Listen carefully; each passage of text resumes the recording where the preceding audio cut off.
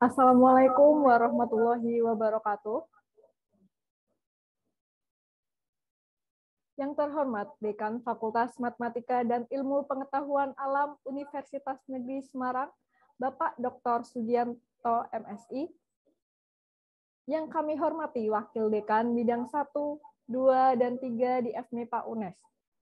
Yang kami hormati seluruh Bapak Ibu dosen di FMIPA UNES, yang kami hormati Ketua Panitia Webinar Profesor Supriyadi MSI. Yang kami hormati pembicara utama webinar Bapak Dr. Heri Andreas STMT, Ibu Retno Widyaningsi Eskom MSI, Bapak Dr. Muhammad Aryono Adi MSI, serta kepada seluruh panitia dan peserta webinar, kami ucapkan selamat datang di acara webinar dengan tema fenomena ROP di pantai utara Jawa, studi kasus di Semarang Utara, dampak dan solusinya. Marilah kita panjatkan puji syukur kehadirat Tuhan Yang Maha Esa yang telah melimpahkan berkatnya kepada kita semua, sehingga kita dapat berkumpul secara daring dalam keadaan sehat walafiat. Bapak, Ibu, dan Saudara-saudari sekalian, susunan acara webinar hari ini adalah satu Pembukaan, dua penyampaian materi webinar, dan tiga penutupan. Bapak, Ibu, dan saudara-saudari sekalian, selanjutnya mari kita menyanyikan lagu kebangsaan Indonesia Raya. Hadirin dimohon duduk dengan tegap.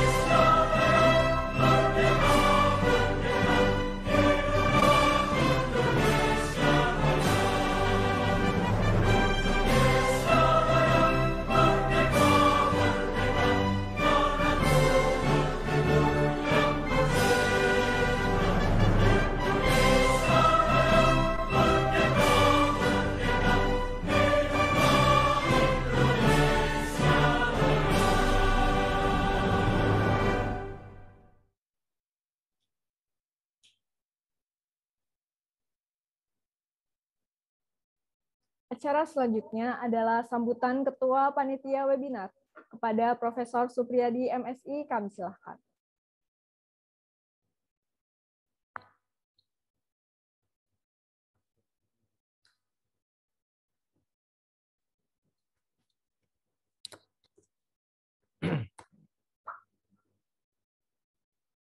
Bismillahirrahmanirrahim. Yang kami hormati Dekan FMIPA Universitas Negeri Semarang, Bapak Dr. Sugianto MSI, yang kami hormati Wakil Dekan 1, 2, 3 FMIPA Universitas Negeri Semarang, yang kami hormati narasumber webinar pada hari ini, Bapak Dr. Heri Andreas, STM Desi Institut Teknologi Ibu Retno Widyaningsih, Eskom MSI dari Stasiun Meteorologi Kelas 2 Maritim, Tanjung Mas Semarang, Bapak Dr. Muhammad Aryono Adi, MSI dari jurusan Fisika Universitas Negeri Semarang. Yang kami hormati Bapak Ibu dosen, mahasiswa, dan peserta webinar yang sudah bergabung pada kesempatan ini. Assalamualaikum warahmatullahi wabarakatuh. Puji syukur kita panjatkan kehadiran Allah Subhanahu wa taala yang selalu memberikan nikmat, rahmat dan hidayahnya sehingga pada hari ini tanggal 8 September 2022 kita dapat menyelenggarakan webinar. Pusat Kajian Kebencanaan FIPA Universitas Negeri Semarang mengagendakan webinar dengan tema fenomena rob di utara Jawa, studi kasus di Semarang Utara, dampak dan solusinya. Kajian ini bertujuan untuk mengkaji fenomena, rob di kawasan utara kota Semarang dengan dampak lingkungan sekitar yang ditimbulkan, kemudian mengaji dari sudut pandang pemanfaatan teknologi dan aplikasinya untuk mengurangi risiko banjir tersebut. Panitia berharap kegiatan ini menjadi sharing session tentang fenomena rob secara umum dan khususnya yang terjadi di kawasan utara kota Semarang. Kegiatan webinar ini menghadirkan pembicara kunci sebagai pakar kebumian, kebencanaan. Kami ucapkan selamat datang pada Bapak Dr. Heri Andreas, STMT, Ibu Retno Widyaningsih, Eskom MSI, dan Dr. Aryono Adi, MSI. Suatu kehormatan bagi kami, Bapak Ibu narasumber berkenan hadir untuk uh, berbagi ilmu di forum ini. Kegiatan webinar ini diikuti oleh mahasiswa S1, mahasiswa S2, dosen, praktisi dari berbagai universitas dan lembaga, UIN Wali Songo Semarang, Unisula Semarang, BRIN, Universitas Muhadi Setiabudi Brebes, SMA Al Azhar Madras Semarang, UIN Sarif Hidayatullah Jakarta, IAP Jateng, BPSP JPI Kementerian Perindustrian, CVR Indo Reka Semarang, Stasiun Geofisika Banjarnegara, Unan Padang, Universitas Andalas Padang, SMP Plus Ria, Ria Yul Mutakin dan dari kalangan internal sendiri UNES. Jumlah peserta webinar yang terdapat 160. Alhamdulillah. Kami mengucapkan selamat datang di Universitas Negeri Semarang, Universitas berwawasan konservasi dan bereputasi internasional. Terima kasih atas peran dan serta Bapak Ibu semuanya Akhirnya pada kesempatan ini saya selaku Ketua Panitia menyampaikan terima kasih kepada seluruh panitia yang telah mempersiapkan webinar ini. Mohon maaf jika ada beberapa kurangan selama webinar ini. Semoga pelaksanaan webinar ini dapat berlangsung lancar dari awal hingga akhir dan bermanfaat bagi kita semua. Bila taufik wal. Wassalamualaikum warahmatullahi wabarakatuh.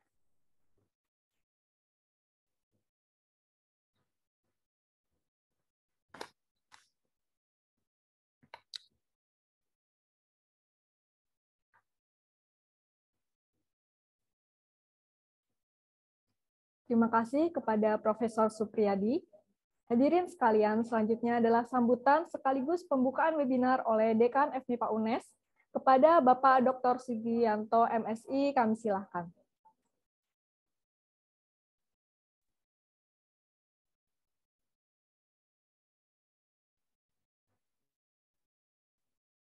Oke, terima kasih. Bisa didengar ya, Mbak? Bisa, Pak. Iya. Bismillahirrahmanirrahim. Assalamualaikum warahmatullahi wabarakatuh. Selamat pagi, salam sejahtera untuk kita semua yang sama-sama kita yang sama-sama kita hormati eh, narasumber Bapak Dr. Heri Andreas STNT beliau dari Fakultas Ilmu dan Teknologi Kebumian ITB Sugeng Rawuh Pak Heri. Yang sama-sama kita hormati juga Ibu Retno Widyaningsih, Eskom MSI, beliau Kepala Stasiun Meteorologi kelas 2 Maritim Tanjung Mas Semarang. Dan yang kita hormati juga Pak Dr. M. Mariono Adi MSI, beliau eh, dari KPK Fisika Bumi, jurusan Fisika Universitas Negeri Semarang. Yang terhormat Bapak Ibu Wakil Dekan, tadi saya lihat ada Pak WD 1, Bu WD 2, dan Pak WD 3, serta Bapak Ibu Ketua Jurusan yang berkesempatan hadir. Yang terhormat Ketua Pusat Kajian Kebencanaan MIPA UNES, Prof. Supriyadi yang kebetulan eh, sekaligus sebagai Ketua eh, Panitia webinar kebencanaan tahun 2022 ini. Yang terhormat Bapak Ibu dosen di lingkungan FMIPA yang berkesempatan hadir, Bapak Ibu praktisi, juga dosen dari PT lain, dan juga adik-adik mahasiswa S1, S2 yang ikut hadir pada eh, webinar kebencanaan tahun 2022 ini. Pertama, marilah kita bersama-sama manjatkan puji syukur hadirat Allah Subhanahu wa taala yang telah memberikan nikmat sehat kepada kita semua sehingga bisa bersilaturahim bersama untuk mengikuti webinar kebencanaan tahun 2022 yang diselenggarakan oleh Pusat Kajian Kebencanaan FMIPA UNES ini. Kedua, tentunya kami menyampaikan terima kasih dan apresiasi kepada Bapak Ibu semuanya yang telah eh, berkenan untuk bergabung untuk mengikuti kegiatan eh, webinar kebencanaan ini walaupun dilaksanakan secara daring tentunya kami berharap semoga eh, tidak mengurangi maksud dan tujuan diselenggarakan Eh, webinar ini. Seperti yang disampaikan oleh Prof. Supriyadi tadi bahwa tujuan diselenggarakan webinar ini uh, adalah untuk menunjukkan kepedulian kami dari FMIPA khususnya dari teman-teman di Pusat Kajian Kebencanaan ya untuk uh, ikut serta mencarikan solusi yang ada di sekitar kita khususnya di Semarang eh, bawah, kota Semarang bawah, serta eh, sharing keilmuan dari para narasumber dan teman-teman semuanya yang hadir pada pagi hari ini. Bapak, Ibu, dan seluruh peserta yang saya hormati, Sebagaimana yang kita ketahui, kota Semarang ini adalah merupakan uh, salah satu kota yang terletak di wilayah pantai utara yang memiliki topografi yang landai, di mana sebagian besar wilayahnya ini hampir memiliki tinggi permukaan tanah yang sama dengan permukaan air laut. Sehingga akibatnya ketika ada pasang naik di Laut uh, Jawa ini kita kena dampaknya yaitu terjadi rob di sepanjang pesisir kota Semarang ya, bahkan sudah mulai masuk ke dalam kota yang saat ini kalau Bapak Ibu melihat sehingga ini tentu menjadi uh, permasalahan uh, kota Semarang. Saya jadi ingat Ya, ini cerita masa lalu ketika tahun 1980 ya, itu Kota Semarang masih kelihatan eh, sangat baik ya, bersih. Itu kalau Bapak Ibu melihat ada perumahan baru di Tanah Emas itu dibangun tahun sekitar 80-an, itu belum terjadi rob.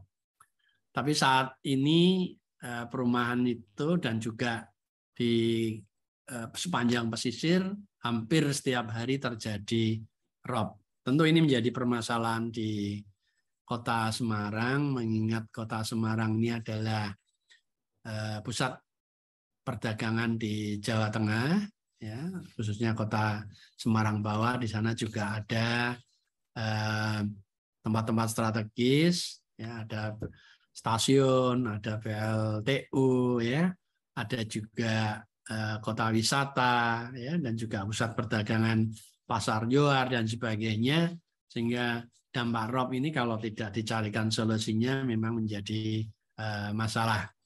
Oleh karena itu, saya kira sangat tepat kalau teman-teman di pusat kajian kebencanaan ini pada hari ini uh, menyelenggarakan webinar untuk mengkaji ya eh, sebab-sebab terjadinya rob di kota Semarang bawah, dampak baik dampak sosialnya, dampak lingkungan, dampak sosial dan dampak perekonomian. Sekaligus kita mencarikan solusinya sehingga ke depan kota Semarang ini menjadi kota yang sehat, kota yang bersih, nyaman untuk melakukan aktivitas perdagangan dan sebagainya. Untuk itu kami atas nama uh, pimpinan dari Fakultas FMIPA ini memberikan penghargaan yang setingginya dan apresiasi atas kesediaan dari Bapak Ibu narasumber yaitu kepada Pak Heri Andreas, STMT, Ibu Retno Widyaningsih, Eskom MSI, dan Pak Dr. M. Aryono Adi MSI yang telah berkenan untuk uh, berbagi ilmunya dan diskusi bersama-sama dengan seluruh peserta webinar ini. Semoga uh, bermanfaat, memberikan uh, pencerahan kepada kita semua, sekaligus mencarikan solusi yang terbaik untuk di Eh, wilayah kota Semarang bawah ini.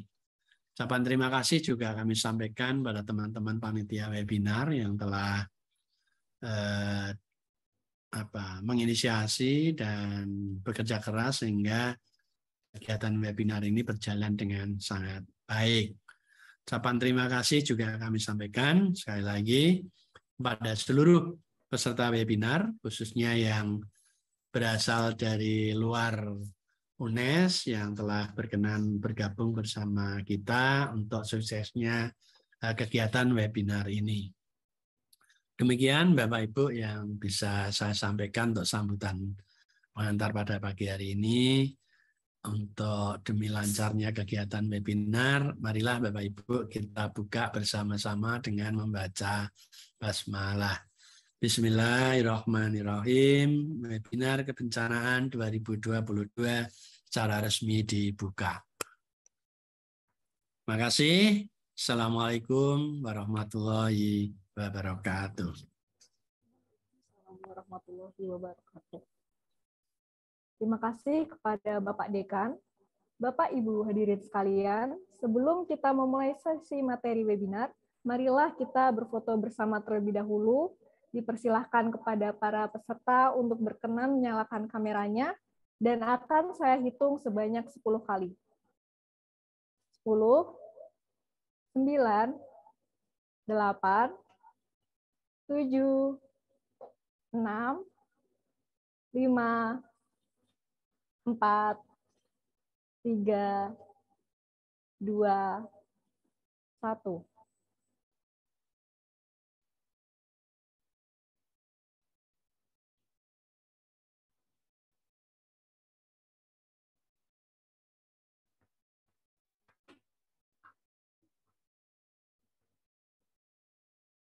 Bapak, Ibu, dan saudara-saudari sekalian, demikian acara pembukaan webinar pada hari ini. Selanjutnya, mari kita persiapkan untuk mulai ke sesi materi webinar. Dengan pembicara utama kita hari ini adalah Bapak Dr. Heri Andreas STMT, Ibu Rotno Widyaningsi Eskom MSI, dan Bapak Dr. Muhammad Aryono Adi MSI. Materi webinar hari ini akan dipandu oleh moderator kita, yaitu Bapak Dr. Humaydi MSI. Untuk itu, sebelum dimulai, saya akan membacakan profil singkat dari moderator kita hari ini. Bapak Dr. Humaydi MSI menyelesaikan studi S1 di IKIP Yogyakarta, S2 di Universitas Gajah Mada, dan S3 di Institut Teknologi Bandung. Penelitian dan publikasi beliau fokus dalam bidang fisika batuan. Tidak menunggu lama lagi, kepada Bapak Dr. Humaydi MSI kami silakan. Oke, terima kasih uh, saudara MC yang telah memberikan waktu dan kesempatan saya untuk memandu jalannya webinar kali ini. Yang kami hormati Bapak Dekan FMIPA, Bapak Dr. Sugianto, kemudian Bapak Wakil Dekan bidang 1, 2, dan 3, Bapak Ketua Panitia, Prof. Dr. Supriyadi, dan para pembicara. Assalamualaikum warahmatullahi wabarakatuh.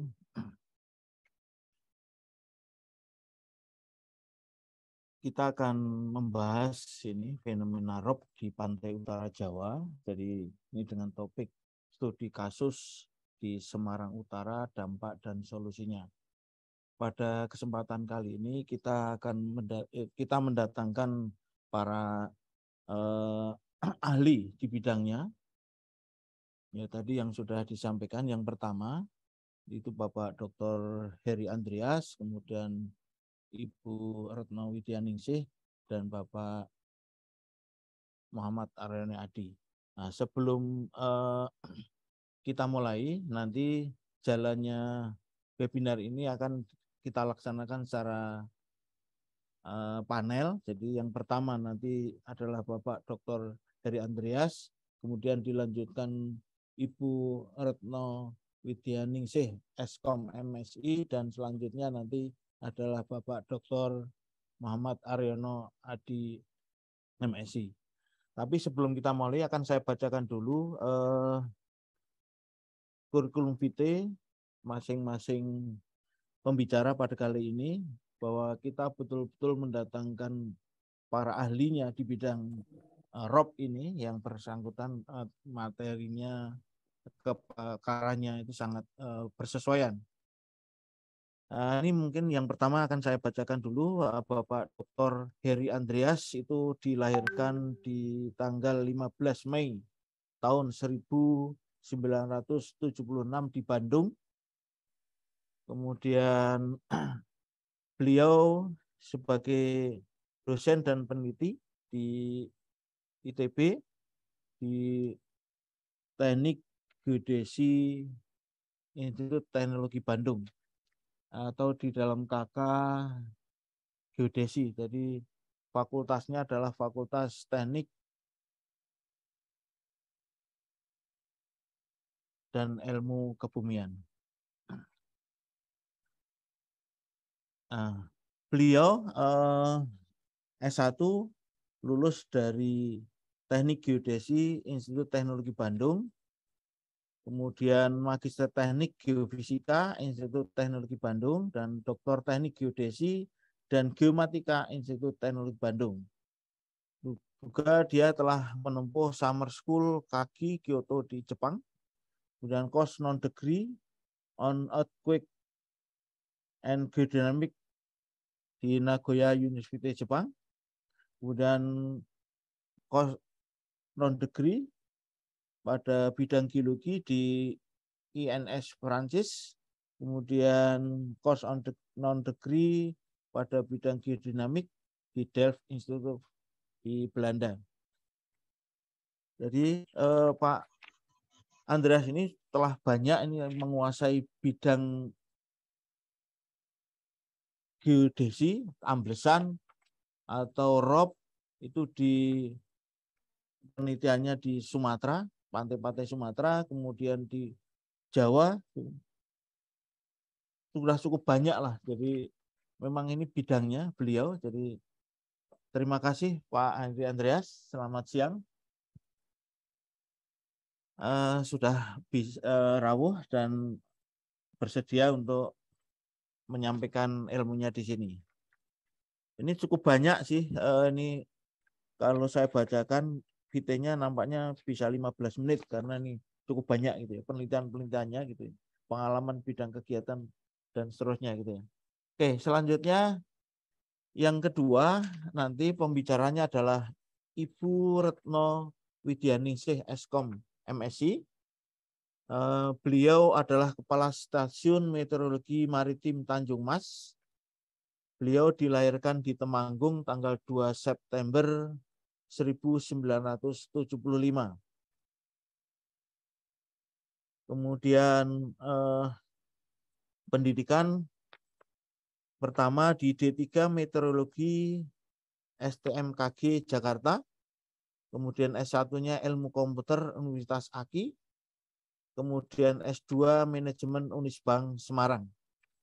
Eh, beliau sehari-harinya di menguasai pantai utara karena berada di stasiun maritim Tanjung Mas Semarang. Jadi yang kemarin eh, rame geger berkaitan dengan Rob Semarang tenggelam gitu ya. Oke, nanti akan dibahas oleh eh, Bu Retno berkaitan dengan fenomena-fenomena yang ada eh, berkaitan dengan eh, Rob Semarang yang sangat besar kemarin. Kemudian yang ketiga adalah eh, pemateri ketiga adalah Bapak Dr. Muhammad Aryono Adi MSI Beliau lahir tanggal 15 Maret tahun 1968 di Semarang. Uh, alamatnya di Semarang. Di beliau adalah dosen uh, fisika dengan bidang keahlian fisika kebumian. Pendidikan S1 dia tempuh di IKIP Semarang tahun 92, kemudian S2 di Universitas Gajah Mada tahun 1998 dan di Universitas Gajah Mada tahun 2020 diselesaikannya. Jadi ini masih agak hangat gitu ya. Jadi mudah-mudahan ilmu yang nanti di uh, sharing dalam hal ini sangat bermanfaat berkaitan dengan uh, fenomena rob yang terjadi sebelumnya sekitar tanggal eh, di bulan Mei tahun 2022. Oke, untuk yang pertama, silahkan ini saya persilahkan untuk Bapak Dr. Andreas untuk menyampaikan eh, materinya. Mungkin di waktu kurang lebih 35 menit gitu ya. Monggo Pak Heri Andreas. Ya, eh, terima kasih Pak Kumaidi. Ya. Eh, izin share screen ya.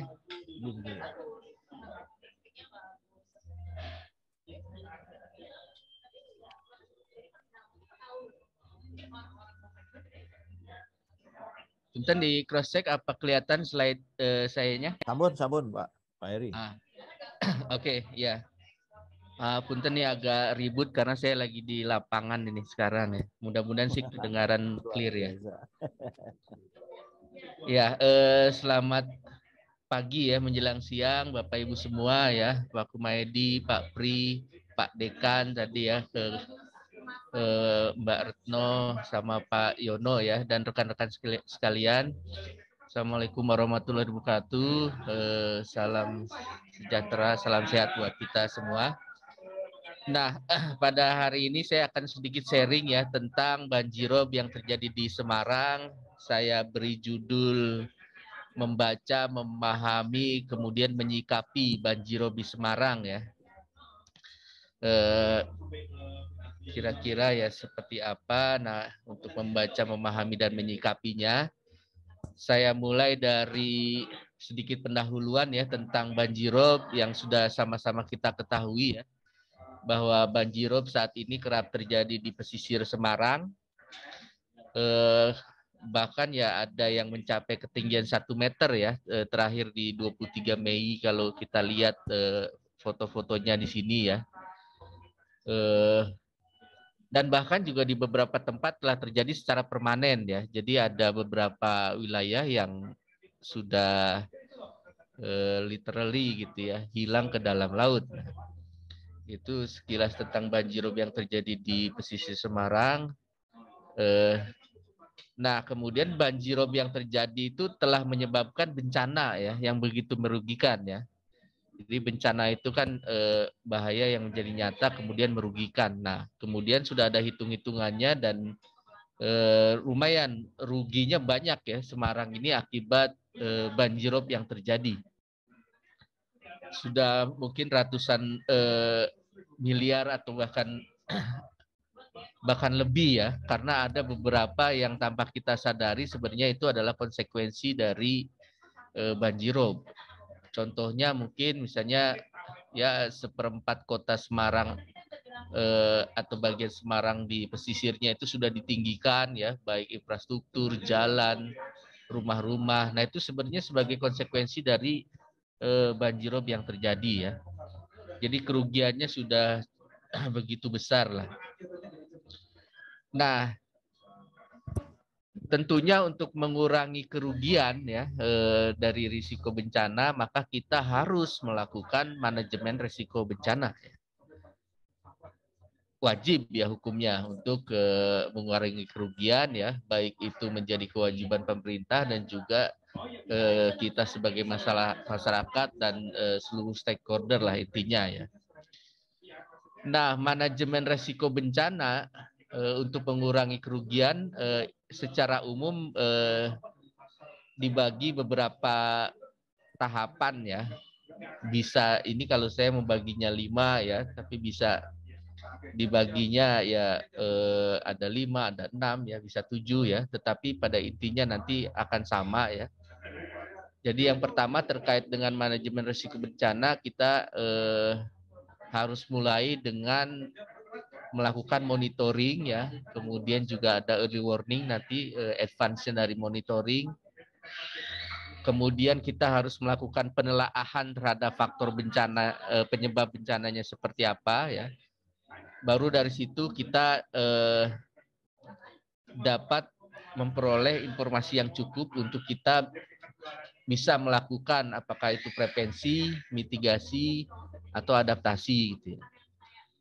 Nah, ketika kita berbicaranya e, bencana yang sifatnya lebih katastrofik, biasanya ada e, fase tanggap darurat, kemudian recovery dan rehabilitasi. Nah, ini bahasa teknis dari manajemen risiko bencana ya.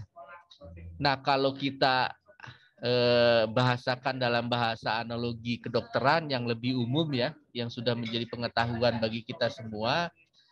Nah, eh, kalau kita berbicara monitoring ya, itu kita ibaratkan sebagai medical check up ya. Kalau saya senang menggunakan bahasa eh, medical check up ya dalam hal terkait manajemen risiko bencana ya.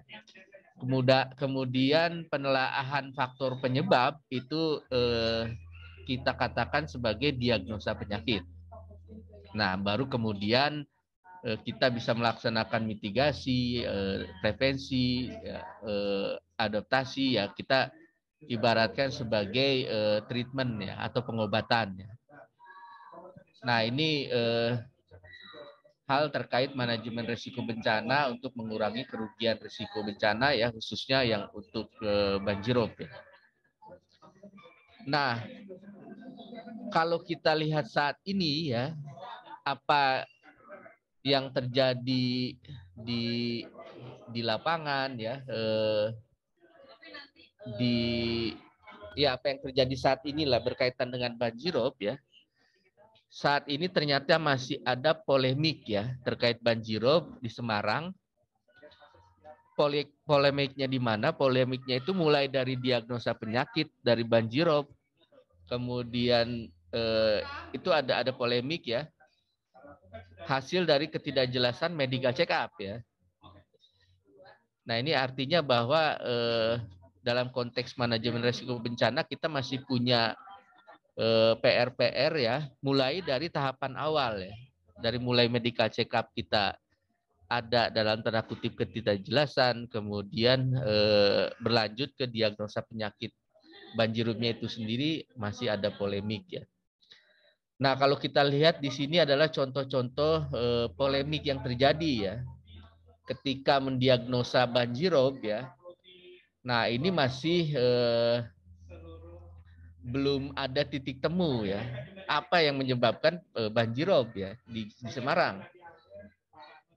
teman-teman ada yang bilang eh, fenomena perigi menjadi penyebab banjirop, tetapi juga eh, ada yang bilang bukan gitu ya. Kemudian kalau teman-teman di BNPB bilangnya dampak dampak siklus tahunan ya. Ada juga teman-teman di Walhi yang minta stop relokasi hutan karena eh, itu kaitannya erat dengan banjirop ya, eh, hutan bakau ya. Sementara Badan Geologi ITB ya itu menyebutkan bahwa banjirop eh, itu akibat dari penurunan tanah ya. Nah ini jelas ya ini menjadi gambaran bahwa polemik masih ada ya terkait di, di, diagnosa. Buah dari apa? Dari medical check up yang eh, juga eh, masih belum ada eh, kejelasan ya kalau ditelaah lebih lanjut misalnya yang melakukan monitoring eh, terkait banjirop kemudian nanti penyebabnya dari mana kan juga masih sporadis lah ya bahkan belum ada eh, badan khusus yang ditugasi untuk melakukan medical check up terkait banjirop. Nah, eh, dari diagnosa yang masih ada polemik, kemudian akibat dari ketidakjelasan medical check up ya. Nah, tentunya pasti eh, akan berimbas ke tahap berikutnya dari manajemen risiko bencana ya. Ketika medical check up tidak jelas, pastinya diagnosa penyakit menjadi tidak relevan atau tidak akurat ya. Nah, lalu pada akhirnya pengobatannya bisa jadi hanya sekedar painkiller saja dan bahkan bisa salah obat ya. Nah, ini eh, common sense-nya dari rangkaian manajemen risiko bencana dengan analogi kedokteran ya.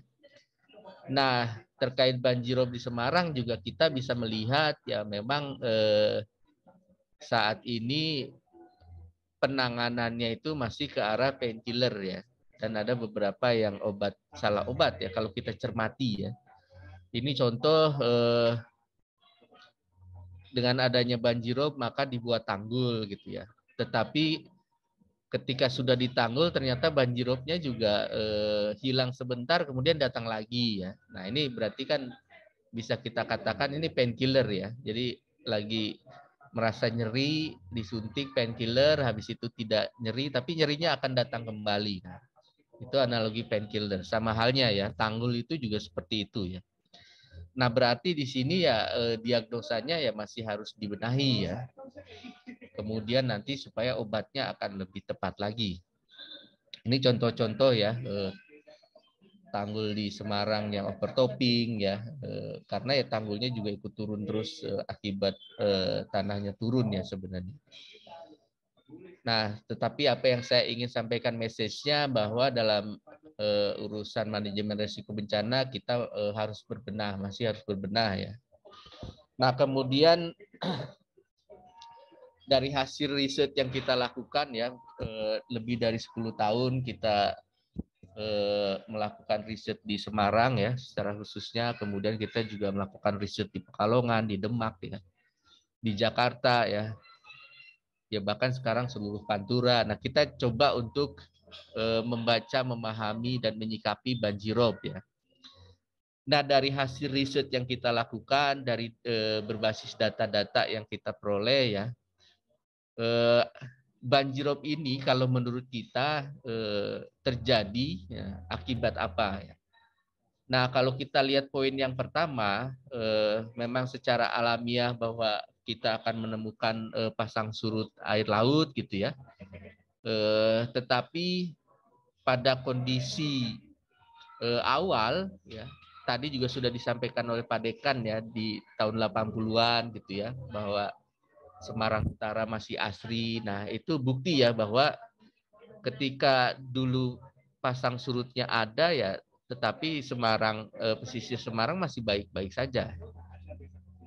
Ya ini artinya bahwa pasang surut bukan menjadi faktor utama terjadinya banjirop gitu ya. Nah, ketika di pesisir Semarang terjadi land subsidence atau penurunan tanah, dan juga di bagian lautnya terjadi sea level rise, nah barulah banjirop itu hadir ya. Di awal 2000-an hingga sekarang eh, barulah banjirop itu datang ya. Kenapa? Karena memang tanahnya eh, di sisi Semarang turun, dan juga terjadi sea level rise. Nah, tadi juga sudah disebutkan bahwa pesisir Semarang itu ya memang dataran rendah ya, aluvium. Nah, sehingga kalau tanahnya terus turun, pada akhirnya eh, posisi dari tanahnya akan lebih rendah dari laut ya. Terlebih ada sea level rise, maka pasti akan terjadi banjirop. Dan banjirobnya itu bisa meluas karena tanahnya terus turun, airnya terus naik, air lautnya ya. Sea level rise-nya memang sampai saat ini masih terus terjadi, penurunan tanah atau land subsidence masih terus terjadi. Nah, itu eh, yang eh, bisa kita baca, kita pahami ya. Nah, kemudian ketika kita sikapi si banjirop itu dengan membuat tanggul ya, eh, untuk sesaat eh, pesisir itu bisa kering ya, karena air lautnya meskipun pasang, meskipun si level rise tertahan oleh tanggul. Nah, tetapi dengan terus terjadinya penurunan tanah, maka tanggulnya ikut turun juga ya. Sehingga ketika tanggulnya ikut turun, eh, akhirnya terjadi lagi overtopping ya. Karena ada pasang eh, surut, ada level rise, kemudian subsiden ya. Nah, apalagi kalau ditambah gelombang tinggi ya, yang sekarang juga masih eh, akan terus terjadi karena seiring dengan climate change gitu ya Nah, itu juga akan meningkatkan kembali resiko banjirop ya. Terlebih ketika tanggul ketika tanggul tidak bisa mampu menahan e, banjirop, kemudian bocor atau juga jebol ya, ya akhirnya e, terjadi lagi e, banjirop ya seperti kasus di Lami Citra ya 23 Mei. Nah, ini yang bisa kita baca, kita pahami, kemudian eh, kita coba sikapi ya terkait banjirop dari data-data hasil penelitian. Nah, kemudian kalau kita highlight eh, subsiden dan sea level rise-nya, nah memang secara data ya kita bisa melihat sea level rise itu terjadi ya. Akibat dari produksi gas CO berlebih, kesetimbangan dari efek rumah kaca terganggu, eh, akhirnya eh, terjadi kenaikan suhu bumi, mencairkan eh, kutub eh, es di kutub ya, akhirnya ya volume air laut lebih besar, ada thermal expansion juga, eh, akhirnya terjadi sea level rise ya. Ini dari data altimetri kita bisa lihat sea level rise itu 6 mm per tahun ya eh, di wilayah Semarang, tidak terlalu besar gitu ya. Nah di satu sisi eh, karena adanya kompaksi alamiah, eh, efek pembebanan dari eh, tanah lunak, kemudian eksploitasi air tanah itu menyebabkan penurunan tanah atau subsiden ya di Semarang dan di tempat-tempat lain. Nah, sehingga seperti tadi dibilang ketika dataran rendah eh, pesisir itu sudah cukup rendah dari laut, ketika tanahnya terus turun, terjadi sea level rise ya akhirnya eh, akan mengalami banjirop atau coastal inundation ya. Nah, kalau kita sudah bisa eh, baca pahami dengan baik eh, tentang mekanisme banjiropnya, nah tentunya nanti kita bisa menyeka, menyikapi eh, dengan lebih baik ya, tidak hanya sekedar eh, painkiller tadi atau misalnya eh, salah obat ya. Nah kembali lagi berarti manajemen resiko eh, bencananya ya harus kita eh, benahi ya kalau eh, melihat fakta yang terjadi saat ini. Nah nanti eh, ke depannya bagaimana upaya menyikapi dengan eh, optimal itu akan larinya ke arah eh, land and water management ya. Jadi kita berbicaranya harus eh, hulu ke hilir gitu ya. Kemudian ketika kita berbicaranya di hilir berbicaranya eh, daik, polder gitu ya, sistem ada tanggul di situ yang kita harus eh, cermati bahwa itu adalah eh, eh, painkiller ya, nanti obat yang paling mujarabnya eh, itu ada di bagaimana kita memanage eh, groundwater exploitation sebenarnya ya, atau memanage eksploitasi air tanah. Karena di berbagai tempat itu isunya itu sebenarnya karena banjirop itu karena tanahnya yang turun dan kemudian tanah turun karena eksploitasi air tanah. Nanti arahnya ke sana ya sekarang masih banyak diskusi ya silakan mangga ya. Tetapi nanti ujung-ujungnya eh, pasti akan eh, mengarah ke eh, manajemen eh, air ya. Eh, secara khusus substitusi dari eksploitasi air tanah. Jadi di sana nanti kita harus berbicara desalinasi, berbicara uh, water harvesting, water recycling, water piping ya. Seperti di Jakarta sekarang sudah ada uh, program water piping atau pipanisasi ya. Arahnya nanti pasti akan ke sana. Kemudian bagaimana nanti di hulunya ya kita harus membenahi dasnya ya. Karena eksploitasi itu diawali dari problematika eh, air permukaan ya yang tercemar karena ada masalah eh, sanitasi, waste ya. Kemudian masalah runoff, eksploitasi terus terjadi akhirnya tanahnya turun, kemudian akhirnya terjadi banjirop. Nah, ini merupakan lingkaran dari dari problematikanya yang yang kita harus pahami terkait banjirop ya. Nah, jadi eh, nanti ujung-ujungnya itu pasti urusannya harus ke land and water management. Nah, itu yang bisa kita baca, kita pahami dan kita sikapi ya terkait banjirop di Semarang secara khususnya dan secara umumnya ya di Pantura gitu ya atau di Indonesia sebenarnya. Karena kita punya 112 kabupaten kota yang punya masalah yang sama dengan Semarang sebenarnya. Nah, eh, itu mungkin presentasi yang bisa saya sampaikan ya. Eh, tidak terlalu panjang ya mudah-mudahan ya nggak apa-apa tidak tidak 35 menit. Eh, saya kembalikan ke Pak moderator ya.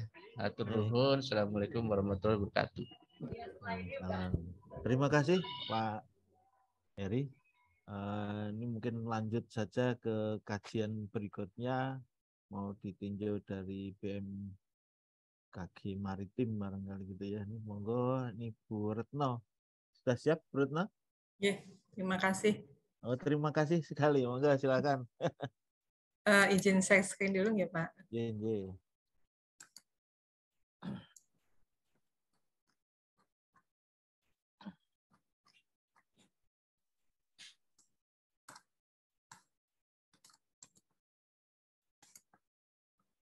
Oke, terima kasih. Assalamualaikum warahmatullahi wabarakatuh. Terima kasih Pak Humaydi. Uh, semoga sehat selalu ya Pak.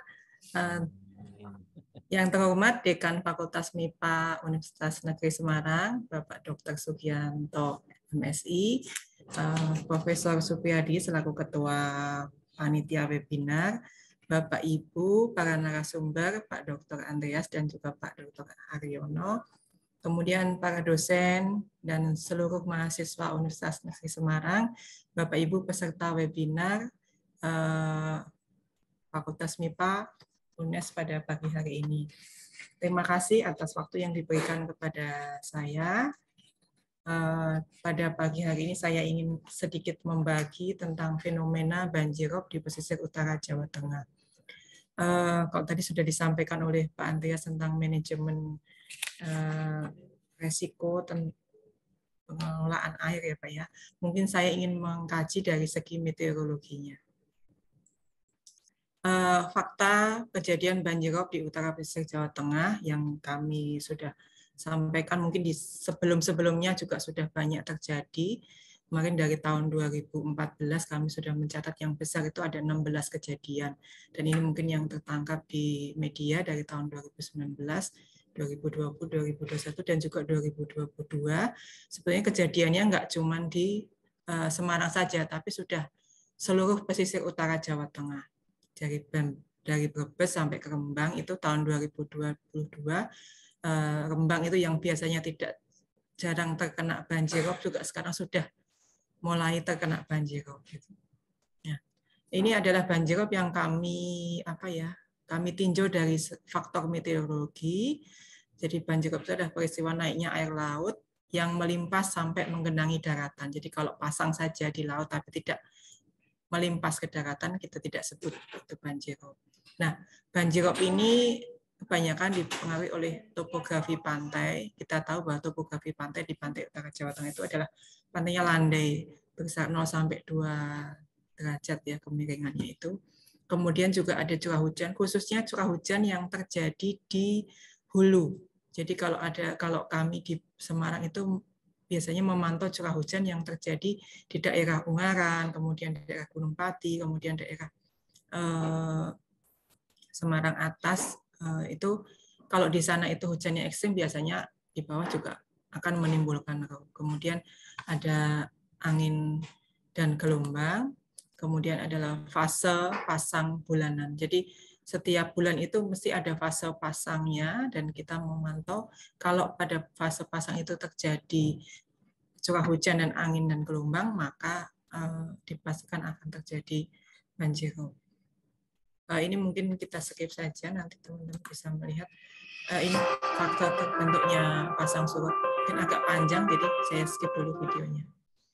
Eh, kemudian dasar hukum dari uh, tugas pokok stasiun meteorologi maritim Tanjung Mas tentang pengamatan pasang surut itu tertuang di Undang-Undang Nomor 31 Tahun 2009, kemudian di Perka dari tugas stasiun meteorologi juga di Perka Nomor 10 2019 tentang pelayanan informasi meteorologi maritim itu sudah dicantumkan bahwa salah satu tugas pokok kita dalam pengamatan adalah pengamatan pasang surut air laut. Jadi ini kita adakan berdasarkan dasar hukum yang jelas. Nah, kemudian ini adalah wilayah stasiun meteorologi maritim Tanjung Mas Semarang. Kenapa saya menyampaikan ini? Karena bencana yang terjadi di pesisir utara Jawa Tengah itu menjadi uh, wilayah pantauan kita gitu loh Pak. Jadi dari Brebes sampai ke Rembang dan juga di Karimun sampai laut laut Jawa bagian tengah bahkan di selatan Kalimantan Tengah itu menjadi wilayah pelayanan kami gitu. Maka kenapa kami uh, senantiasa memantau eh, fenomena-fenomena cuaca yang terjadi di wilayah tersebut. Nah, ini adalah palem alat pengamatan pasang surut yang kami pasang secara manual. Kami sudah melakukannya sejak tahun 2002. Kita pasang palem di depan kantor. Kebetulan di depan kantor itu adalah eh, laut, jadi kita pasang, kita baca setiap jamnya selama 24 jam penuh. Data-datanya tersimpan menjadi data pengamatan yang kami miliki. Nah, ini dibaca pada rentang waktu H-10 dan sampai H10. Jadi antara rentang waktu itu pembacaannya setiap jamnya. Nah, ini adalah eh, terpasang alat yang otomatis. Kami memasang dua di Pelabuhan Tanjung Mas di depan kantor. Jadi eh, apa namanya? bersamaan dengan palem yang manual dan juga di Pelabuhan Tanjung Mas itu ada di belakang eh, TPKS Pak. Itu kami pasang. Nah ini adalah eh, hasil datanya yang bisa dinikmati secara real time. Ini adalah eh, apa namanya? Yang ini ada di kantor hasil data dari alat kami itu per detik. Jadi bacanya itu per detik. Nanti kami akumulasi, kemudian kami apa namanya simpan. Yang ini dari AWS yang terpasang di TPKS Pak. Datanya bisa dinikmati, tapi untuk mendownload memang harus hanya khusus untuk BMKG saja. Kemudian eh, pengamatan manual ini dilakukan oleh dilakukan selama per jam 24 jam penuh untuk yang digital diamati per detik. Nah, data pengamatannya seperti ini. Yang hijau ini adalah eh, hasil pengamatan yang tertinggi pada hari itu. Jadi setiap bulannya kami rekap, kami kirimkan ke pusat. Nah, hasil pengamatan pasut harian ini bisa dinikmati di web kami di pasut.maritimsemarang.com. Ini silahkan untuk dilihat. Ini untuk melihat eh, hasil pengamatan pasut time. Kalau menginginkan data-data yang lalu, Bapak bisa mengetik tanggalnya, kemudian submit nanti akan terlihat. Untuk downloadnya bisa di eh, bisa di titik tiga ini, bisa di download dalam bentuk eh, PNG, JPEG, PDF untuk uh, kajian Bapak Ibu sekalian jika menginginkan uh, hasil uh, pengamatan pasut kami secara real time. Nah ini adalah yang biru ini dat, uh, has, pasang surut dari positrosal sebagai acuan dari apakah perakiraan ini uh, apanya baik atau tidak. Kemudian yang kuning ini adalah prediksinya dari kami, jadi data-data kami yang lampau ini kami masukkan di dalam model, kami jadikan sebagai dasar untuk membuat prediksi eh, data kami. Kemudian yang biru ini, eh yang hijau ini pengamatan manual dari teman-teman observer yang dibaca tiap jam. Kemudian yang merah ini pengamatan digital dari alat digital yang kami pasang. Nah, bagaimana kami mendeteksi adanya potensi banjir rob? Itu jika pada bulan itu memasuki fase masa uh, pasang tertinggi. Jadi misalnya dalam kayak kemarin dalam tanggal 23 Mei kami mengemukakan bahwa fase pasang tertinggi terjadi tanggal 19 sampai tanggal 26 Mei. Nah, jika perakiraan kejadian robnya itu berlangsung tiga jam atau lebih. Jadi kalau rob itu eh, fase pasang tinggi itu hanya berlangsung 1 sampai dua jam, itu kemungkinan kecil akan eh, terjadi rob. Kalau lebih dari tiga jam, ini kami pantau eh, dengan fenomena yang lain. Nah ini kemungkinan akan terjadi rob itu. Kemudian tinggi puncak pasang itu pada level 1,1 karena dari pengamatan kami yang sudah sudah kalau hanya 1,0 itu biasanya tidak berdampak eh, terhadap rob gitu. Kemudian adanya gelombang tinggi di pantai utara kami. Jadi dari pengalaman kami itu walaupun gelombang cuma dalam kategori sedang, tetapi bisa menimbulkan eh, banjir rob. Kemudian adanya potensi curah hujan yang tinggi di daerah pesisir utara Jawa Tengah. Jadi saat ini BMKG sudah mempunyai eh, aplikasi atau model namanya Signature BMKG di situ uh, bisa digambarkan potensi hujan beserta dampak yang akan terjadi. Dari situ kita pantau, kemudian penggabungan dari semua fenomena itu menghasilkan uh, kita akan mengeluarkan peringatan dini banjir atau banjir pesisir. Ini kita akan sebarkan berupa informasi grafis maupun informasi image dan PDF yang kita sebar ke eh, stakeholder kami di sepanjang wilayah pelayanan kami. Nah, ini adalah studi kasus tanggal 23 Mei kemarin, Pak. Jadi ini ada di depan kantor kami langsung. Kami pun dinas juga dibantu dengan kapal Ditpol Air karena selama hampir satu minggu itu eh, semua kendaraan tidak bisa melalui jalan di depan kantor kami. Ini adalah fase pasang tertinggi yang terjadi pada tanggal 19 sampai 26 Mei. Jadi dari perkiraan pusidrosal itu kita melihat bahwa fase pasang tertinggi bulan Mei itu terjadi tanggal 19 sampai tanggal 26 Mei 2022. Dari dari uh, model angin yang kita uh, launching di BMKG uh, itu terdeteksi bahwa mulai tanggal 22 itu sampai tanggal 25 itu memang terjadi angin dari kecepatan 6 sampai 20 knots. Jadi bisa eh, dilihat bahwa trackingnya itu memang ada kejadian eh, angin dengan kecepatan 6 sampai 20 knots. Kemudian dari model gelombangnya juga terjadi peningkatan gelombang terutama di tanggal 22, 23 dan 24. Jadi kelihatan sekali pas saat kejadian tanggal 23 itu ada gelombang yang uh, terjadi di jam uh, sekitar jam 1 sampai jam 3 sore. Dari citra satelit kebetulan uh, pada saat itu tidak terjadi hujan di Pelabuhan Tanjung Mas, tapi di pesis di mana hulu itu memang ada kondisi uh, hujan yang terdeteksi. Nah ini dari tanggal uh, 19 kami sudah mengeluarkan peringatan dini banjir pesisir yang kami sebar dan juga kami memantau di grup itu bagaimana kondisi pelabuhan-pelabuhan di pesisir utara Jawa Tengah. Jadi laporan dari para stakeholder itu memang mulai ada peningkatan rob mulai dari tahun mulai dari tanggal 19 sampai tanggal 25 Mei. Dan kami juga mengeluarkan peringatan dini gelombang tinggi pada tanggal 23 sampai dengan tanggal 25 Mei. Jadi memang eh, kondisi pada saat itu memang gabungan antara eh, fase rob tinggi, kemudian angin yang juga kencang, dan juga gelombang tinggi. Nah, ini adalah pantauan rob di berbagai daerah dari laporan para stakeholder yang masuk ke kami dari Brebes, Tegal, Pekalongan, Wonokerto, Kendal, Pati, Demak, dan juga Rembang. Jadi memang pada tanggal 23 Mei kemarin hampir seluruh pesisir utara Jawa Tengah itu terdampak oleh rob.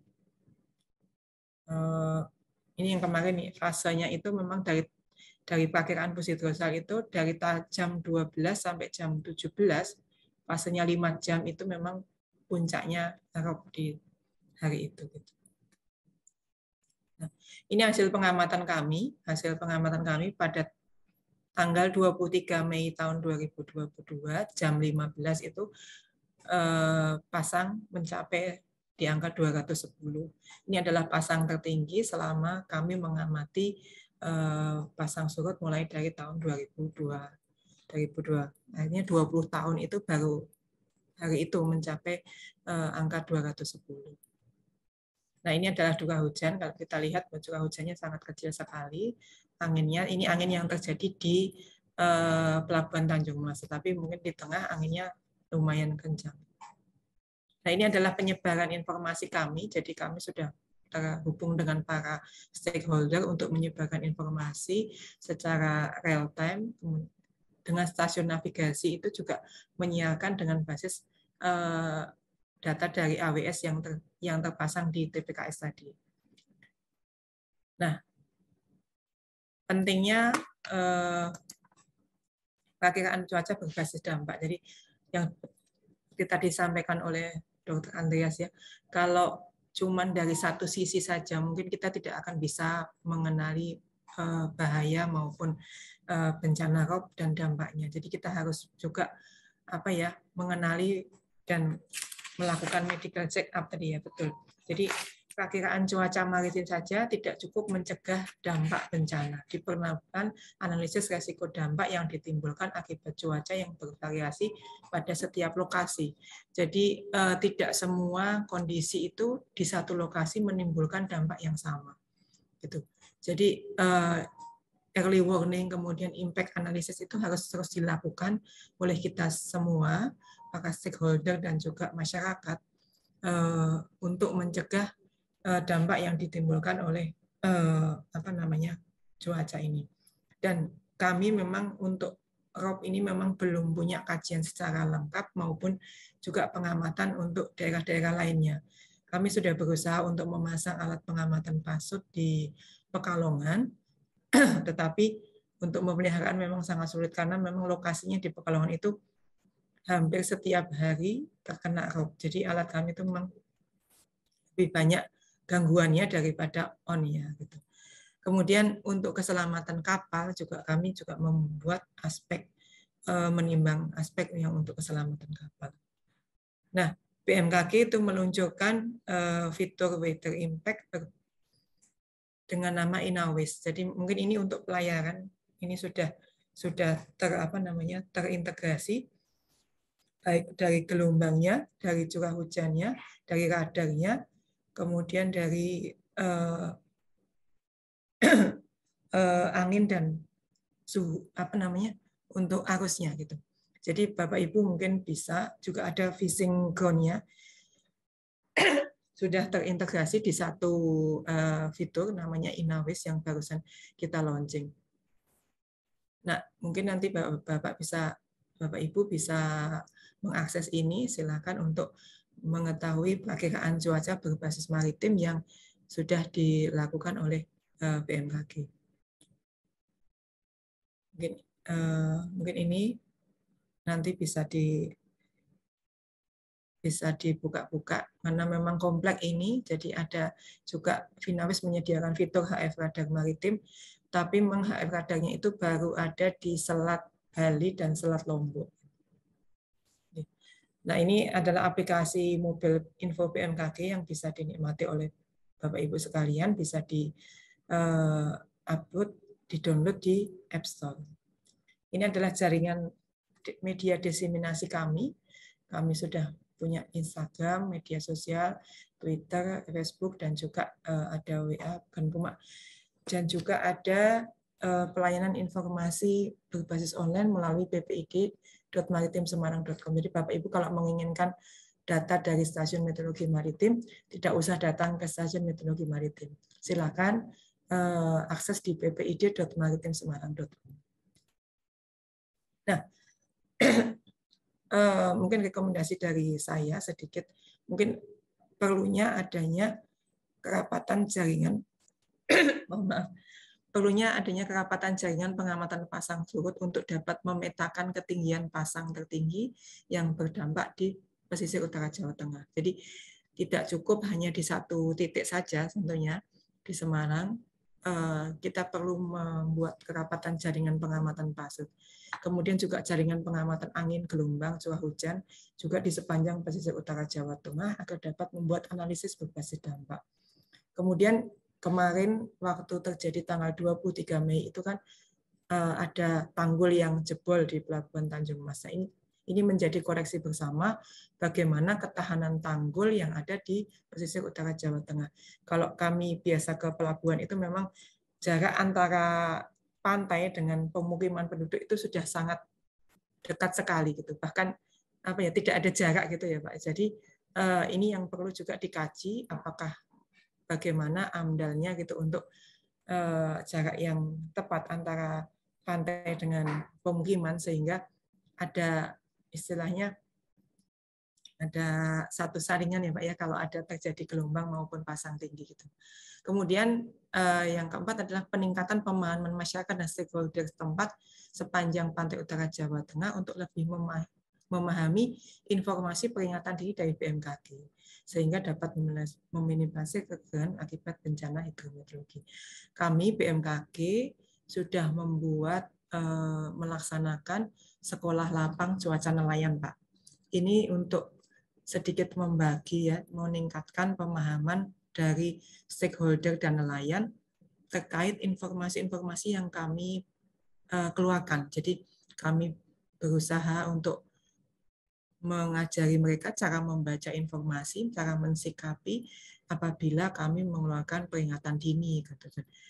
Karena banyak peringatan dini itu kayak kemarin gitu ya, kita sudah mengeluarkan peringatan ini dari tanggal 19. Tapi sepertinya ya ditanggapinya biasa saja gitu ya Pak ya. Nah setelah kejadian memang banyak sekali gitu ya yang datang ke kami gitu mengkonfirmasi apakah benar itu terjadi. Nah, ini adalah data pengamatan real Pak yang kami amati. Kami tidak mungkin merekayasa data pengamatan dan ini terjadi. Dan basicnya kami membuat eh, peringatan dini ini benar berdasarkan eh, analisa-analisa dan model-model yang sudah kami uh, uji gitu ya. Tetapi ini ini sekali lagi jadi setelah setelah kejadian 23 Mei ini kami banyak dipanggil istilahnya oleh stakeholder untuk memberikan pencerahan bagaimana mensikapi peringatan dini yang dikeluarkan oleh BMKG. Nah ini mudah-mudahan ke depan dengan adanya uh, bencana yang terjadi 23 Mei kemarin bisa membuka mata semua uh, stakeholder yang berkepentingan di pesisir utara Jawa Tengah untuk lebih aware lagi ya Pak ya bahwa banyak kajian yang dilakukan oleh eh, para ahli kemudian mungkin juga dosen-dosen dari UNES gitu. Ini yang banyak manfaatnya harus dikolaborasikan dengan semua stakeholder gitu. Jadi dampak ini sebetulnya bisa diminimalisir dengan kita saling bekerja sama. Kami ingat bahwa mulai dari tahun 2016 kami sudah banyak membuat dan bekerja sama dengan Undip, dengan UNES gitu. Saya juga sering berkecimpung dengan dosen-dosen UNES gitu. Kita sudah banyak membuat apa ya untuk masyarakat istilahnya ya supaya banyak uh, mengerti gitu. Ini kejadian uh, eh, bencana ini di depan mata kita gitu. Dan masyarakat ini juga sudah tidak mungkin kayaknya dipindahkan ke tempat lain gitu ya Pak. Jadi mereka harus ber, apa ya berakrab-akrab dengan bencana gitu loh. Tapi marilah uh, ke depan mungkin bisa kita berkolaborasi lebih baik lagi. Mungkin demikian yang bisa kami sampaikan, Pak. Oke. Terima kasih. Semoga bermanfaat dan mungkin uh, sedikit berbagi. Terima kasih. Bila ada kesalahan, saya mohon maaf. Bila hitaufiq wal Assalamualaikum warahmatullahi wabarakatuh. Waalaikumsalam warahmatullahi wabarakatuh. Terima kasih sekali Bu Retno uh, materinya nanti hmm. ditunggu sebentar untuk diskusi sama Pak Andreas gitu ya. Nah, untuk materi berikutnya monggo Pak Aryono waktu dan uh, layar saya serahkan untuk menyampaikan materi pada kali ini. Siap Pak Aryono ya? Masih mute tuh.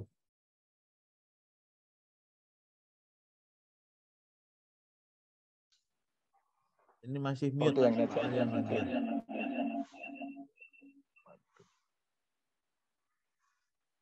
yang satu yang satu yang satu yang satu. Oh. Mantul ya. Suaranya masih mantul Pak Ariana.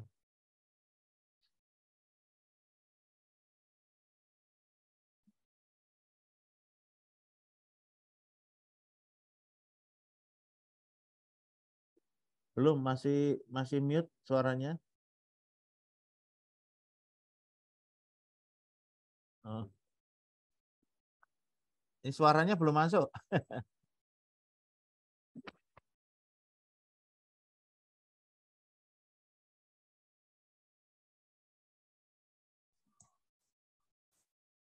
Mikrofonnya Pak Aryono belum dibuka. Betul. Pak Aryono. Pak Aryono monggo mic-nya dibuka dulu. Oh, Malah sedang telepon. Bentar ini baru koordinasi dengan ketua panitia. ini.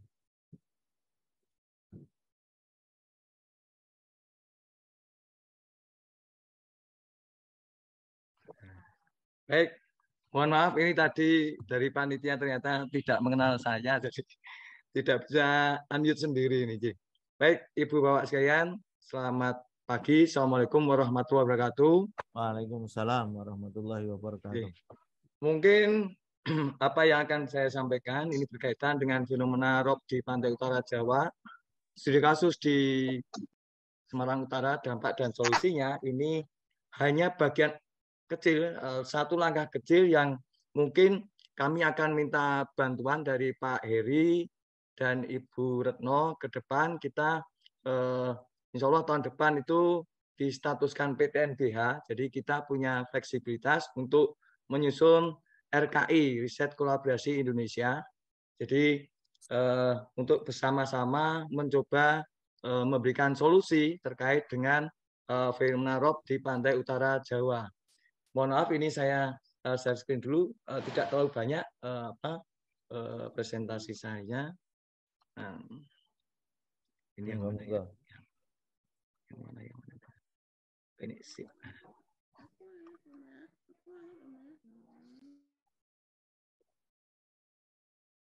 Sudah terlihat kah? Ampun, ampun Pak Aryono, tapi belum di slideshow nih.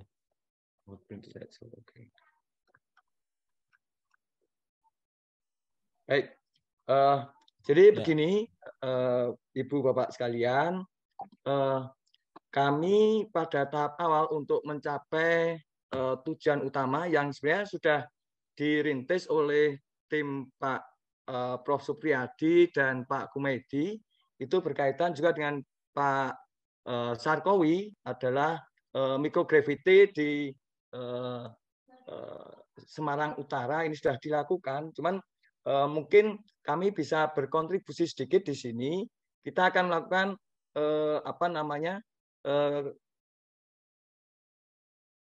membantu menyusun model awal untuk inversi dari microgravity. Jadi ini yang saya sampaikan ini adalah uji mikroseismik pada penentuan struktur bawah permukaan dangkal.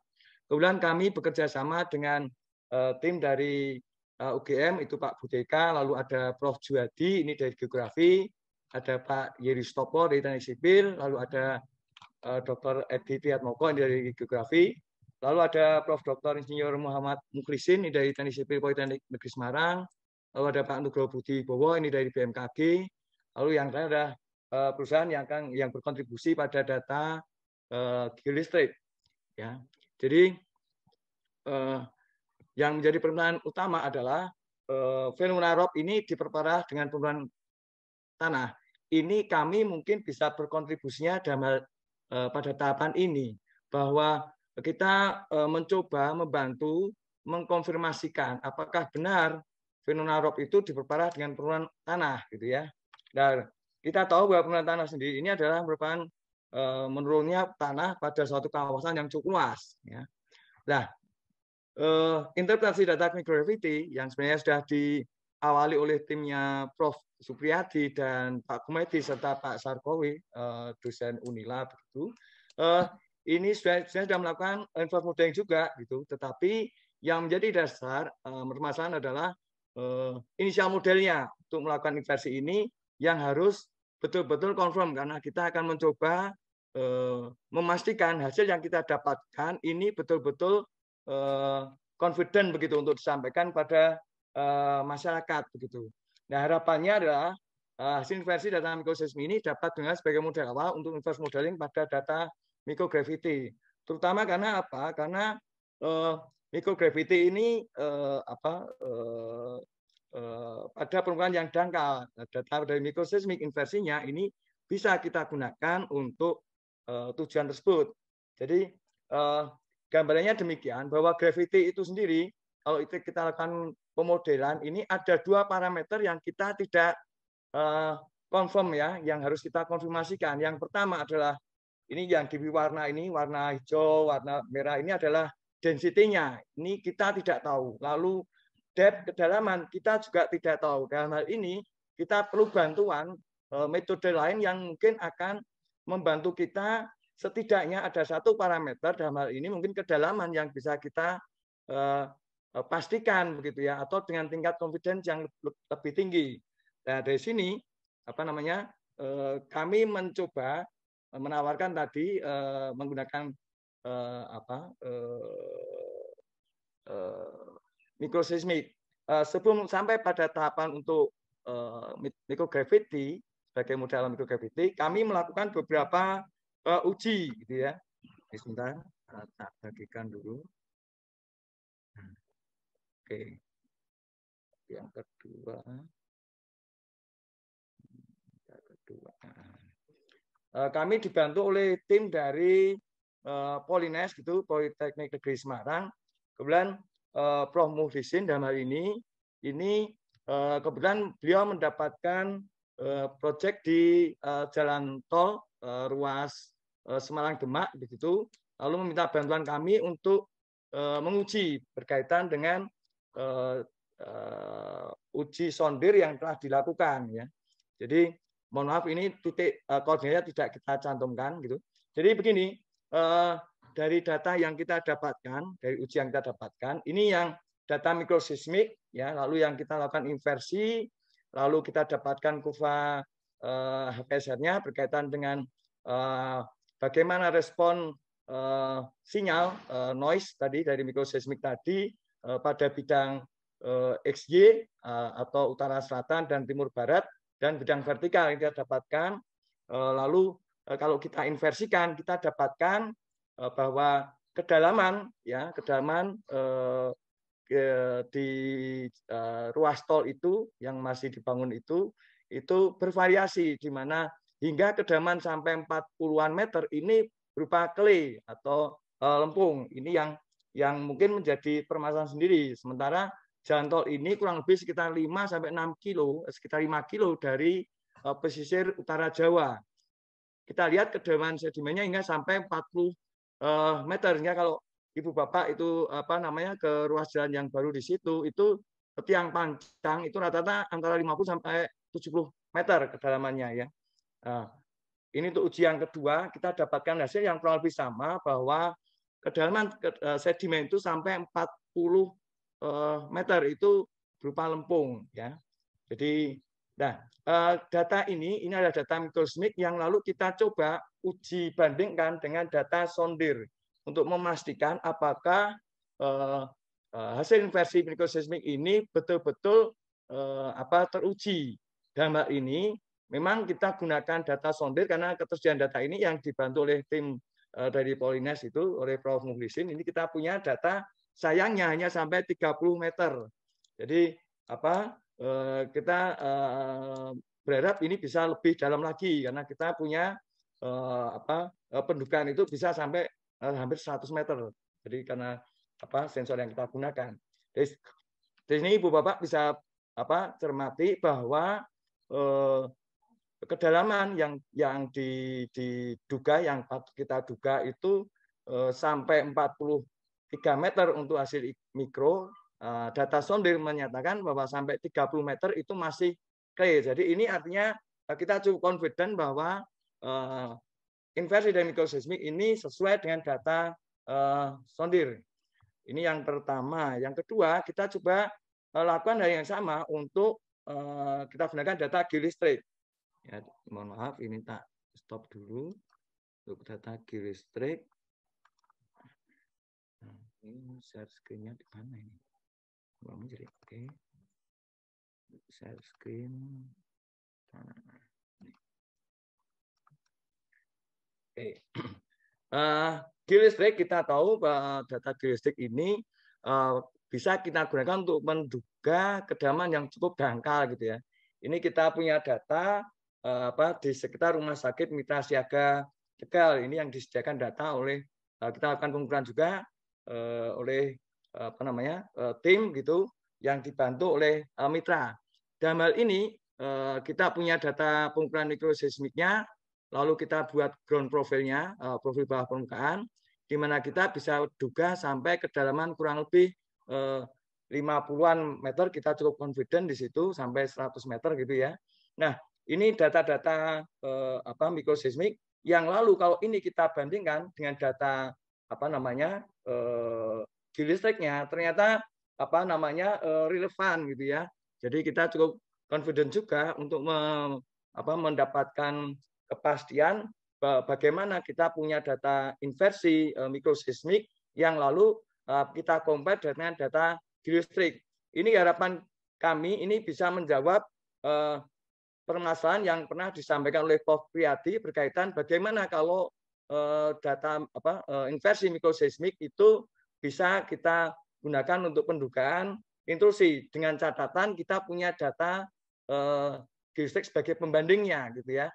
Asal kita tahu apa eh, karakter dari apa hasil inversi antara uh, seismik dan geolistrik mungkin kita bisa bantu untuk setidaknya pada kedalaman berapa begitu. Jadi ini yang hasil yang kita dapatkan kita mencoba untuk beberapa titik ini ada empat empat titik yang hasilnya kurang lebih bahwa uh, kita cukup sekali lagi kita cukup confident bahwa data geolistrik dan data mikroseismik informasi mikroseismik ini uh, berkorelasi kuat untuk apa di wilayah itu sekali lagi yang kita lakukan ini masih pada wilayah yang sangat lokal.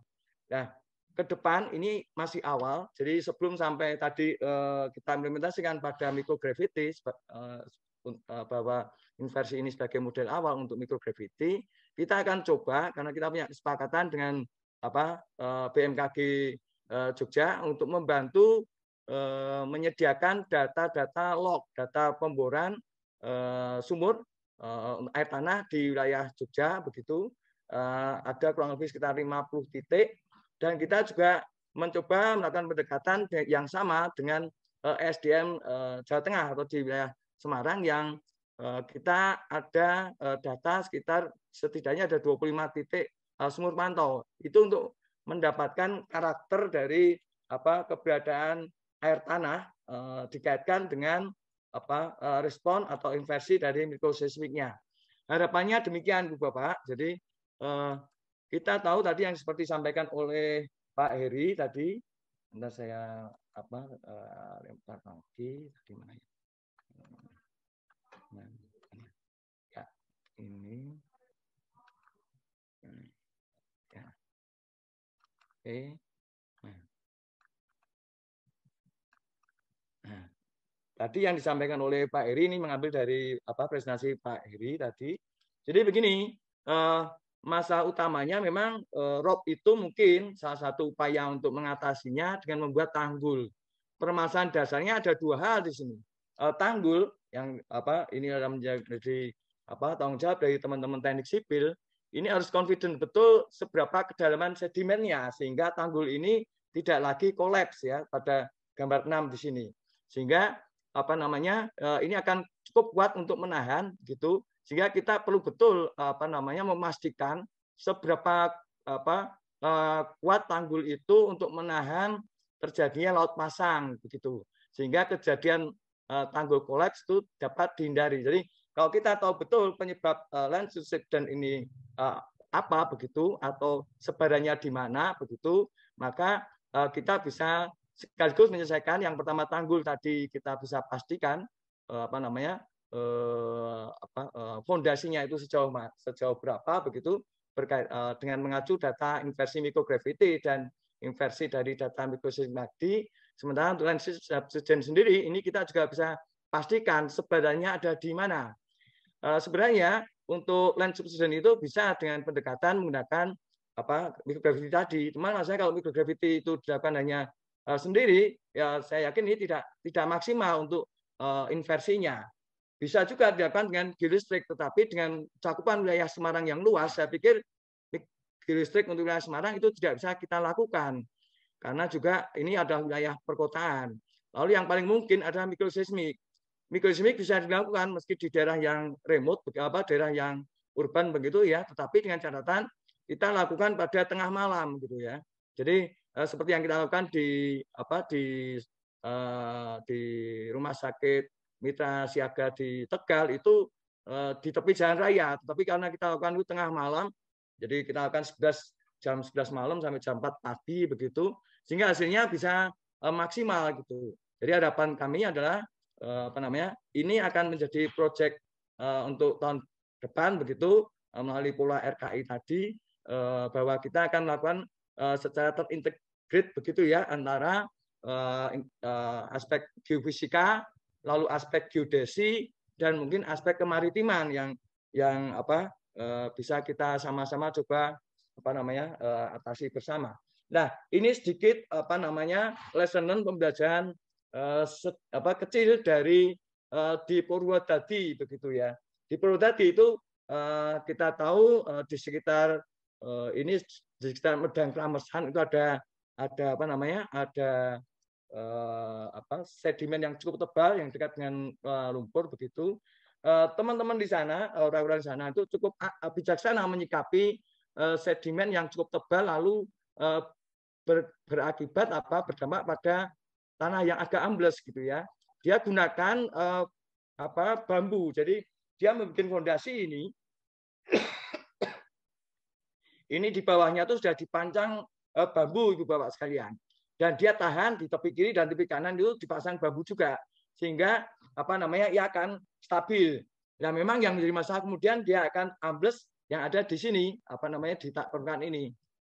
Dan ini diatasi dengan membuat apa ubin yang terpisah begitu. Jadi tidak dicor begitu.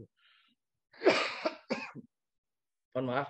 Ini adalah cara apa eh, orang-orang lokal dan ini di wilayah Eh, kuwu menyikapi adanya uh, amblesan. Saya kira itu yang bisa apa kami sampaikan. Kurang lebihnya mohon maaf. Terima kasih atas perkenannya Prof. Riyadi memberikan kepercayaan kepada saya dan tim uh, menyampaikan ini. Sekali lagi terima kasih. Assalamualaikum warahmatullahi wabarakatuh. Oke, terima kasih sekali Pak Aryono. Materinya sangat uh, kompleks gitu ya. Uh, ada tinjauan dari graviti, ada tinjauan dari mikroseismik, dan ada juga dari uh, geoelektrik gitu ya. Jadi ya. sangat terpadu barangkali seperti ini. Terima kasih sekali. Saat berikutnya adalah uh, diskusi. Uh, saya akan saya tawarkan nanti tolong saya dibantu oleh tim barangkali yang akan memantau berkaitan dengan pertanyaan-pertanyaan.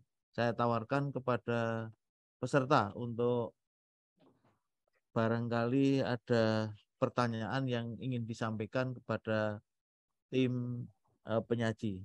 Monggo silakan.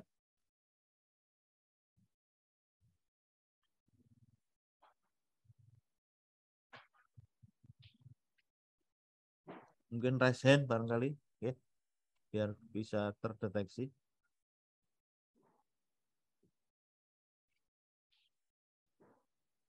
Suara terdengar nggih?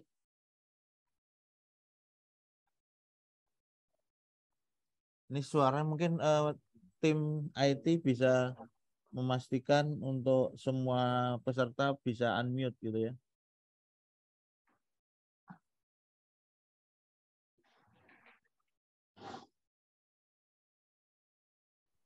Ini mungkin sebelum uh, nanti yang ada pertanyaan langsung ingin saya bacakan dulu. Ini ada dari Ibu Eliana Wati UNES ya. Ini bertanya, ini ke tim penyaji barangkali. Ini yang pertama ada yang Oke. Saya bacakan ya ini. Izin bertanya jika boleh dinumerasi dari skala 1 sampai 10 ada di skala manakah kondisi parahnya banjir rob di Semarang dibanding kasus terparah yang pernah ada. Yang pertama, yang kedua, benarkah isu yang berkembang bahwa dalam kurun waktu 10 tahun ke depan banjir rob sudah mengancam Simpang 5 Semarang yang merupakan pusat kegiatan ekonomi. Yang ketiga, pertanyaannya apakah kemungkinan terburuk yang akan dialami Kota Semarang bahwa jika kasus rob ini tidak segera ditangani. Ini mungkin bisa dijawab satu persatu barangkali. Yang pertama mungkin Pak Heri monggo. Satu dulu pertanyaan. Ada tiga pertanyaan barangkali.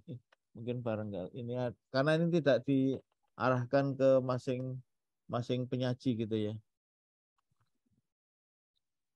Halo Pak Heri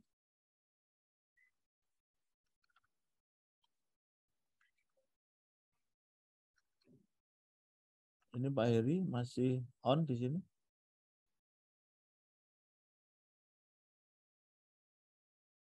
Atau ini karena unmute ya dari tim mungkin barangkali bisa dibantu?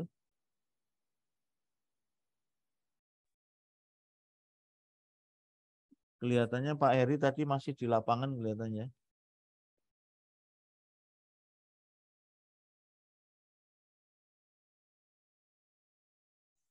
Atau mungkin Bu Retno barangkali yang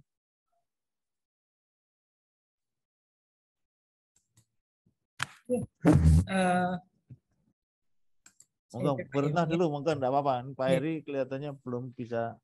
Kalau dari kejadian ter, kejadian terakhir tanggal 23 Mei itu ya merupakan yang terparah Pak yang pernah terjadi selama kami mengamati gitu. Ya, ya. ya uh, kita sih tidak pernah berharap ya bahwa ini akan terjadi lagi di kemudian hari dengan uh, benarkah isu yang berkenjang pada waktu 10 tahun ke depan? Uh, mungkin saja kalau dibiarkan seperti ini akan bisa terjadi ya Pak ya. Tapi ya, ya. pasti kita tidak akan tinggal diam gitu. Kita tahu yang mengancam itu seperti tadi disampaikan adalah subsiden kemudian perubahan iklim yang bisa mengakibatkan angin makin kencang, gelombang makin tinggi, kemudian kejadian cuaca ekstrim juga semakin sering, kemudian eh, adanya kenaikan sea level rise dan sebagainya. Ini kemungkinan bisa terjadi kalau kita tidak mencegah dan tidak berdiam diri saja gitu. Tetapi saya yakin semua pihak itu tidak akan membiarkan ini terjadi dan banyak sekali mungkin kajian yang sudah disampaikan ya oleh para ahli bahwa tenggelamnya uh, pesisir utara Jawa Tengah berapa tahun lagi gitu dengan kondisi penurunan tanah yang sekarang katanya sudah di angka 15 cm per tahun gitu gitu ya. Nah itu kan uh, bisa saja kan kondisi sekarang di Pelabuhan Tanjung Mas itu hampir semua wilayah yang masuk di kawasan pelabuhan itu sudah berada di bawah laut, Pak. Ya. Kantor kami saja kalau tidak ada pompa gitu ya dan tidak tidak apa namanya karena urgensinya kami gitu ya mungkin seharusnya kami sudah pindah keluar gitu karena hmm. posisinya sudah di bawah laut gitu loh. Nah ini mungkin sudah banyak sekali kejadian seperti ini gitu. dan uh, kita tidak bisa menomerasi di angka berapa gitu tapi yang jelas selama pengamatan kami ini adalah kondisi yang terparah yang pernah terjadi dan kita berharap tidak akan pernah terjadi eh, pasca banjir tanggal 23 itu kira-kira tanggal 29 Mei gitu kami mengadakan rapat dengan Pak Gubernur gitu. Eh, kebetulan saya juga diundang. Saya menyampaikan bahwa tang Mei Juni itu di, di tanggal 20 sampai tanggal eh, tanggal 15 sampai tanggal 20 itu akan terjadi rob lagi gitu. Saya sampaikan di depan Pak Gub dan itu untuk mempercepat proyek penanggulan dari tanggul yang jebol itu, Pak, hmm. oleh PUPR. Dan benar tanggal 20 Juni ternyata kejadian lagi kan banjir rob di di Pelabuhan Tanjung Mas. Tapi karena kita gerak cepat gitu ya, ada penanganan lumayan cepat, ini bisa diminimalisir tidak uh, seperti tanggal 23 Mei. Nah, saya berharap itu tidak hanya untuk sementara saja, jadi semuanya itu bahu membahu untuk bisa mencegah terjadinya banjir rob ini. Tentu saja kerugian yang kemarin itu kan sudah mungkin di angka triliunan ya Pak ya, iya, karena iya. luar biasa. Luas, luas sekali. Gitu. gitu. Bahkan para pekerja itu sampai kayak trauma gitu datang ke pelabuhan itu takut nggak bisa keluar gitu. Ini saya yakin kita semua semua pihak tidak akan membiarkan ini terjadi dan kita harus salah satunya ya seperti webinar ini saya yakin ini adalah uh, kepedulian UNES untuk mencegah supaya yang kemarin terjadi tidak terjadi lagi. Seperti itu Pak, mungkin dari ya, kami. Terima kasih. Mungkin Pak Heri ada masukan pertanyaan tadi. Pak Heri kelihatannya. Halo Pak Heri, bisa monitor di lapangan?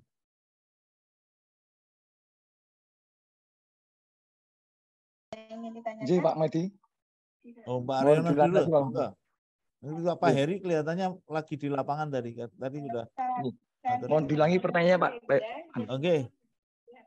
Jadi pertanyaannya adalah yang pertama, jika di skala kira-kira dari angka 10 itu, skala manakah kondisi parahnya banjir rob di Semarang dibanding kasus-kasus terparah yang pernah terjadi? Ya, Jadi, kemudian yang kedua, benarkah isu yang berkembang bahwa dalam kurun waktu 10 tahun ke depan, banjir rob sudah mengancam Simpang 5 yang merupakan pusat kegiatan ekonomi Kemudian yang ketiga, apakah kemungkinan terburuk yang akan dialami kota Semarang bawah jika kasus rob ini tidak segera ditangani? Jadi ini prediksi barangkali gitu Pak Aryono. Monggo Pak Aryono. Oke. Baik Pak Komedi untuk poin yang satu dan poin yang dua itu apa kompetensi saya tipis-tipis di situ. Jadi uh, berkaitan mungkin yang aspek yang ketiga Pak Komedi. Jadi uh, kalau memang yang di apa diteliti oleh Prof Priyadi dengan laju apa namanya laju uh, penurunan tanah itu memang benar, ini mungkin bisa terjadi apa namanya bisa sampai ke uh, Semarang Tengah ya itu sangat mungkin Bapak. Jadi uh, uh, ini yang lalu sebenarnya uh, kami tertarik, uh, saya tertarik untuk uh, apa namanya membantu meng, uh, menjustifikasi atau sama-sama kita apa namanya eh, memikirkan betul apakah benar eh, apa namanya hasil pemodelan untuk eh, mikrogravity itu eh, dengan laju eh, berkisar antara 24 apa 24 eh, cm per tahun atau eh, ada yang menyatakan itu sekitar 0,6 ya kurang lebih sekitar 60 cm. Nah, ini kalau kalau itu memang benar itu sangat apa namanya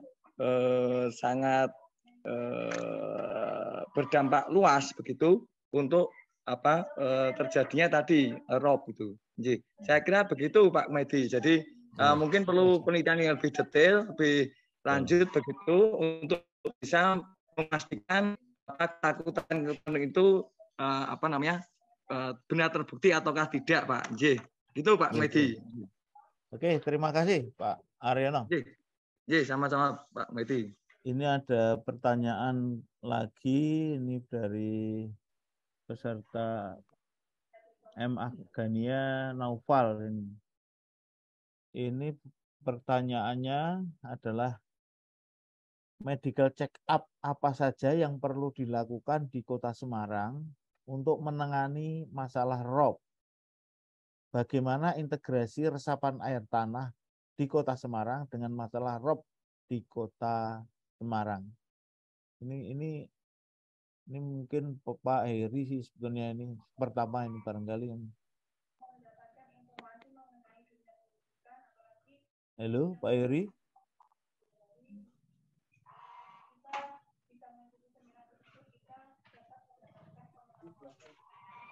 Oh Pak Heri dari di lapangan masalah kelihatannya ya. Karena tadi sedang di lapangan. Oke, monggo Pak Aryono ini mungkin ini yang pertama. Ini ini ada berkaitan dengan uh, di geofisikanya. Ini kaitannya dengan medical check up ini.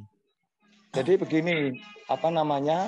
Uh, faktor penurunan air tanah memang, uh, mohon maaf, faktor penurunan uh, tanah ini memang uh, apa namanya? Bisa terpicu oleh adanya uh, apa namanya uh, uh, eksplor eksploitasi air tanah yang mungkin uh, berlebihan sehingga uh, aquifer-aquifer itu kosong lalu uh, apa namanya uh, jelas ini akan menimbulkan uh, dampak terhadap uh, uh, permukaan tanah yang ada di atas aquifer itu tersebut. Jadi memang ini perlu uh, apa solusi yang komprehensif begitu antara apa penggunaan air tanah dan apa namanya eh, pencegahan tadi dampak rob yang meluas. Jadi ada dikedepankan konsep konservasi air. Ini pula yang apa namanya membuat kami ini akan tertarik untuk apa namanya eh, berkolaborasi dengan eh, ESDM untuk memastikan seberapa perubahan muka air tanah di Kedamaian pada di sumur pantau begitu. Jadi tidak hanya dari hasil mikrogravity saja, tetapi eh, kita harus justifikasi dengan apa namanya eh, penurunan muka air tanah dari eh, data yang ada di eh, SDM berkaitan dengan eh, sumur pantau. Saya kira begitu Pak Medi. Ya. Jadi ini yang mungkin bisa dirangkum tadi yang medical check up apa saja itu yang utama itu adalah eh, pengaturan berkaitan dengan pengambilan air tanah sehingga ruang pengisian dan pengosangannya seimbang barangkali seperti itu ya Pak ya. J, J, jadi prinsip konservasi air. Dan saya Iya. pikir kalau kita gunakan metode geolistrik untuk memastikan air tanah tadi ini agak anu sekali- apa agak repot ya karena daerahnya daerah perkotaan. Jadi saya pikir itu tidak menjadi pilihan utama. Jadi Ya, saya, eh, mungkin lebih baik kita cari salah satu metodenya mungkin ya mikroseismik tadi tapi harus dikunci dengan data eh, geolistrik begitu. Ya, Hanya berapa titik. Saya kira gitu Pak Medi. Ya, J. betul, betul. Jadi ini banyak hal yang harus dilakukan sih sebetulnya kaitan dengan J, medical J check Pak Medi. Assalamualaikum Pak Medi. Oh ini ada lagi yang mau tanya? Hand barangkali. Pak Pri ini. Eh, terima kasih eh, Pak Ahmad. Bapak Ibu sekalian mohon izin untuk melengkapi tadi yang disampaikan Pak Yono dan mungkin Bu Retno ya yang berkaitan dengan apa misalnya memang eh, yang kita lakukan kebetulan eh, ketika dulu sekolah tahun 2000 2002 ya 2002 kita sudah melakukan pengukuran yang menggunakan apa itu gravity antar waktu melakukan apa pengukuran gaya berat di tempat yang sama selama kurang lebih empat tahun. Nah hasilnya menunjukkan bahwa eh, ada ambesan sekitar 10 cm. Hingga tadi yang ditanyakan Bu Eli berapa numerasinya ini saya apa analogikan yang ambesannya ya bukan apa roknya tapi tadi kalau mendengar penjelasan Pak Riono dan apa Eri. eh, Bu Retno dan Pak Iri maka kalau melihat hasil dari apa eh, berhubungan dengan ambesan itu dari utara ya dari utara yang terbesar itu kalau dulu saya tahun 2010 itu sekitar 10 cm per tahun kemudian semakin ke ke selatan semakin kecil ambesannya sehingga kalau tadi dikaitkan dengan apa dengan rock yang paling kemungkinan yang potensi adalah yang apa paling utara dan ini beberapa tahun kemudian terbukti ya jadi apa terjadi rock apa di kawasan apa pelabuhan. Nah ini eh, kalau kayak saya kaitkan dengan hasil penelitian apa beberapa tahun yang lalu maka apa, ada ada ada apa eh, keterkaitannya. Tadi seperti yang disampaikan apa Pak Yono memang betul bahwa di dalam apa ilmu kebumian ini apa ada beberapa metode. Jadi kalau saya menganalogikan seperti kita ini dokter ya, dokternya spesialis apa. Jadi kalau apa membicarakan suatu objek juga tergantung apa spesialisnya ya metodenya apa karena semua metode itu punya dasarnya, punya konsepnya yang masing-masing eh, bisa apa kita pelajari. Dan tadi sudah disampaikan adanya integrasi itu yang penting ya. Jadi memang selama ini memang masih ada beberapa pertanyaan yang mendasar seperti tadi yang disampaikan apa Pak Heri sebetulnya yang mana apa akar masalah penyebabnya karena itu nanti menjadi dasar untuk kita memberikan apa adjustment sehingga tadi yang sudah dirintis Pak Yono saya kira terima kasih sudah melengkapi Hasanah di kota Semarang ini saya juga mencoba nanti untuk uh, penelitian-penelitian berikutnya. Nah, apa yang saya lakukan sebetulnya sekarang ini lebih apa mengklaster ya, mengklaster apa bagian-bagian kecil gitu ya dari apa uh, luasan apa yang terkena apa uh, rob. Jadi kalau saya ketemu orang Semarang, Pak, uh, rob dari Semarang apa? Nah, kemudian saya jelaskan Semarang yang mana dulu gitu. Semarang itu luas. Bapak yang dimaksud yang mana? Nah, ini yang sebetulnya uh, ingin kita kerjakan di masa mendatang. Jadi kita bisa mengkluster ya seperti yang tadi sampaikan Pak Aryono lebih mendekati nanti apa uh, penyebabnya gitu ya karena di daerah X kemudian di daerah Y di daerah Y saya kira nanti eh, masing-masing uh, punya apa karakter sendiri sehingga penangannya nanti akan lebih uh, spesifik seperti tadi yang disampaikan oleh oleh apa uh, apa uh, Pak Fahri. Nah, kita mulai sudah berpikir besar sebetulnya masa rob ini tidak sekedar itu secara ilmu kebumian. Jadi ilmu kebumian saya kira salah satu aspek salah satu. Kemudian yang lebih penting lagi adalah kita yang hidup di atasnya itu adalah yang perlu juga dipikirkan ya.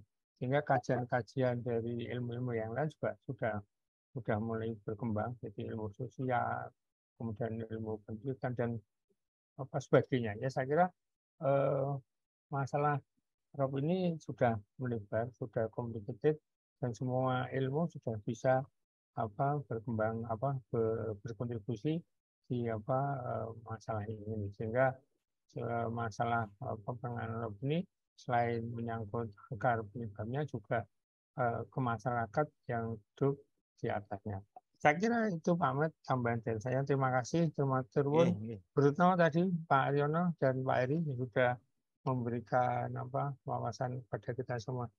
Yang terus. Eh, mungkin masih ada lagi ini ada pertanyaan barangkali. Monggo yang langsung barangkali. Atau ini saya bacakan aja pertanyaan. Masih ada lagi. Ini ada dari Erna Pak Dewi. Ini dari saya rangkum aja. Kayak tadi ada dari penjelasan Pak Aryono dan Pak Heri tadi.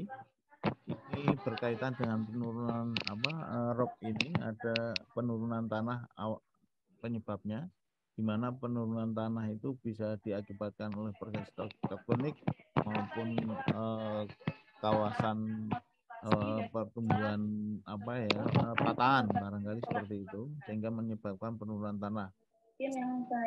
Tapi juga di bisa jadi karena penebangan pohon gitu ya, bisa jadi ini ini pertanyaannya seperti itu. Nah, sekarang berdasarkan dua penyebab tadi kira-kira teman-teman Pak Aryan ini berdasarkan dua penyebab tersebut manakah yang lebih dominan berpengaruh besar dan apakah ada solusi yang signifikan untuk menanganinya? Baik, terima kasih Pak. Baik, terima kasih Pak Medi. Yeah. Uh, kaitan dengan uh, faktor penyebab tadi, ya mana yang lebih dominan, ya ini yang coba kita uh, pastikan uh, melalui penelitian ini. Jadi uh, mungkin uh, kita akan dapat confirm betul, confident betul menyatakan bahwa penyebabnya adalah uh, karena adanya uh, manajemen air penggunaan air tanah yang tidak maksimal sehingga ada penurunan uh, muka tanah. Uh, itu bisa dilakukan kalau penelitiannya itu uh, terintegrasi, jadi antara di USDM lalu dengan apa teman di geodesi tadi Pak Eri tadi, lalu dengan di geofisika, lalu juga dengan maritim. Karena apa? Karena uh, uh, geofisika harusnya uh, hanya pada satu aspek saja sebagai penyebab. Mungkin kita akan justifikasi bahwa oh itu mungkin karena memang penurunan air tanah, tetapi itu tidak cukup kuat untuk memastikan itulah yang utama. Jadi kalau misalnya kita punya data betul tentang apa uh, uh, yang confirm betul uh, mikrogravitinya seperti apa pemodelannya, lalu bagaimana penurunan untuk air tanahnya seperti apa berdasarkan data dari sumur pantau, saya pikir ini bisa menjadi hal yang menarik untuk bisa memastikan apakah penurunan air tanah itu, uh, sorry, penurunan tanah, uh, penurunan tanah itu betul-betul uh, apa sebagai apa penyebab uh, turun uh, karena penggunaan air yang berlebihan. Lalu itu pula yang uh, menyebabkan dampak dari uh, rob itu akan semakin meluas. Demikian. Jadi uh, kita perlu cukup waktu untuk memastikan itu. Saya kira gitu Pak Medi. Ya, jadi belum bisa dipastikan memang kan karena datanya belum cukup gitu barangkali gitu ya.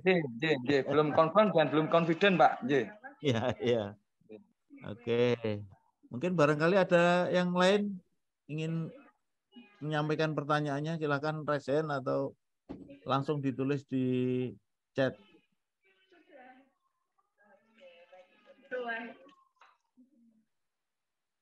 Oh, ini ada lagi? pertanyaan dari Pak atau siapa Pak Komsidi ya Komsani Komsani Mauludi izin bertanya untuk kualitas air dan prosedur pembuangan limbah yang dihasilkan dari industri di Kota Semarang apakah sudah diolah dengan baik apakah ada penggunaan surfaktan absorber limbah dan katalis yang berukuran nano ini agak beda sedikit barangkali topik pertanyaannya gitu ya. Ini ke siapa ini pertanyaannya kan? Dari ini agak susah ini pertanyaannya karena ini ditujukan ke mana itu juga dari BMKG juga tidak menangani itu misalnya ESDM kalau ini karena kita belum uh, tidak boleh mengundang apa uh, tidak bisa mengundang ESDM barangkali ini terlalu banyak uh, pemateri barangkali seperti itu. Sebetulnya ini berkaitan dengan ISDM, BMKG, kemudian ahli pada uh, geologi, geofisika berkaitan dengan uh, penurunan tanah, rob dan seterusnya itu karena itu sangat kompleks satu dengan yang lain uh, berkaitan. Saya, ini mungkin agak susah ditujukan ke mana ini, saya nggak tahu ini. Ini mungkin Pak Aryono juga. Pak agak susah ya. Ya kalau saya kira kalau yang apa pertanyaan yang di Pak Komsani tadi mungkin bisa Jabri saja Pak nanti mungkin bisa kami bantu arahkan ke teman di SDM Pak. J. Ya, maksudnya SDM karena kita tidak mengundang J. dari SDM gitu ya Pak ya. J. Yang punya J. yang punya kewenangan berkaitan pengelolaan air ya, kaitan dengan itu adalah dinas SDM gitu ya. Oke, mungkin itu yang kedua. Ini dari Pak Armas Arifin dari BPTPPI Semarang. Ya. Izin bertanya untuk ketiga narasumber ini semuanya ini jelas ini ya. Eh, identifikasi penyebab, metodologi dan mitigasi sudah dilakukan, manajemen risiko sudah disiapkan. Nah, pertanyaannya adalah seberapa efektif kajian yang dilakukan dapat mengatasi problem ROP untuk jangka menengah dan jangka panjang. Adakah strategi eh, environmental adaptif ya, bisa diterapkan dalam kebijakan mengatasi ROP? Terima kasih. Ya. Ini mungkin Bu Retno dulu, monggo. Bu Retno ada pertanyaan cukup bagus ini. Oke Pak, Matur nuwun. Ah, ya. Komedi.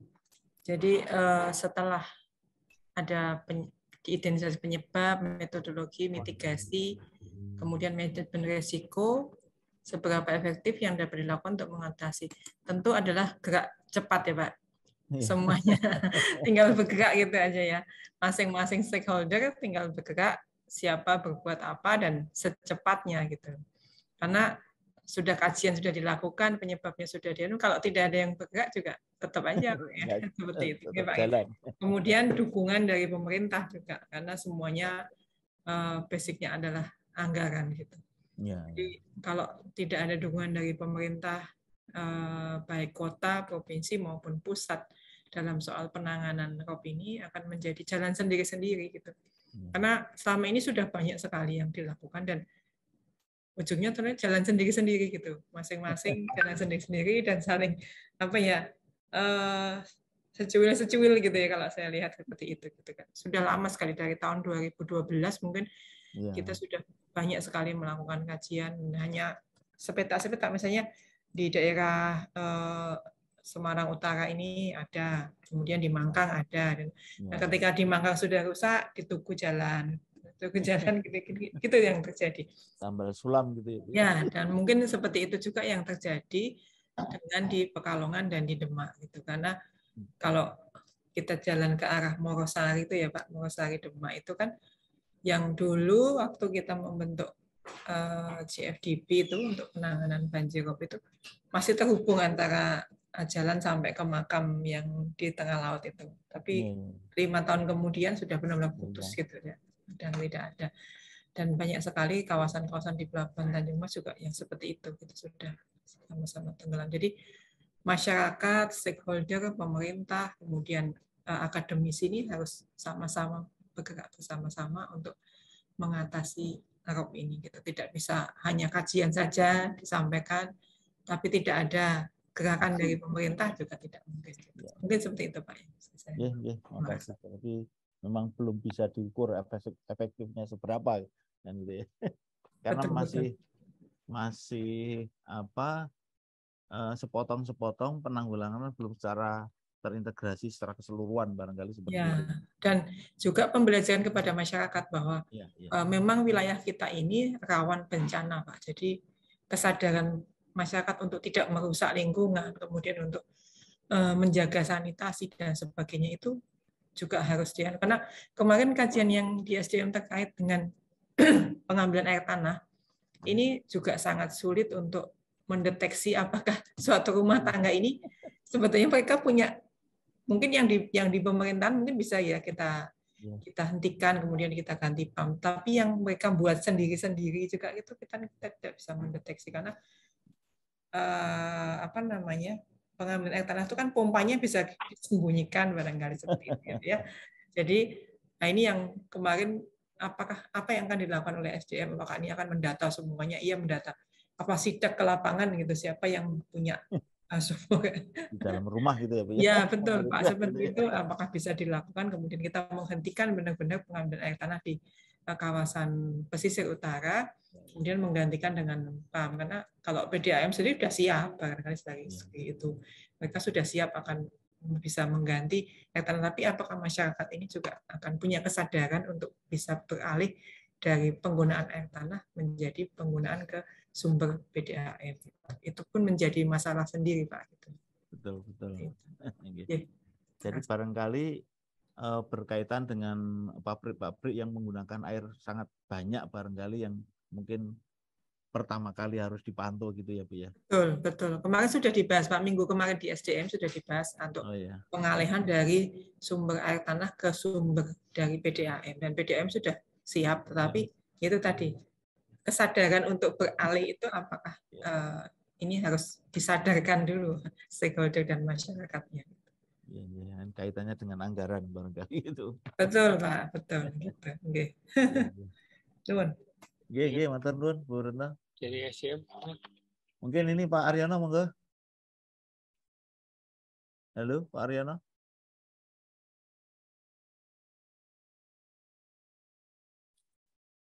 Jadi Pak Medi. Yeah. Jadi uh, berkaitan dengan apa yang tadi disampaikan oleh Bu Retno, memang uh, kita perlu apa uh, betul-betul uh, apa bersinergi untuk hal ini karena memang uh, di kalangan apa perguruan tinggi ini memang yang jadi masalah adalah uh, penelitian ini sering kali uh, terbatas hanya luarannya itu dalam bentuk artikel ataupun dalam bentuk apa uh, posting ataupun laporan. Dan mungkin dengan model kolaborasi yang maksimal saya pikir uh, kami bisa apa namanya uh, bisa lebih apa lebih berkontribusi nyata demikian.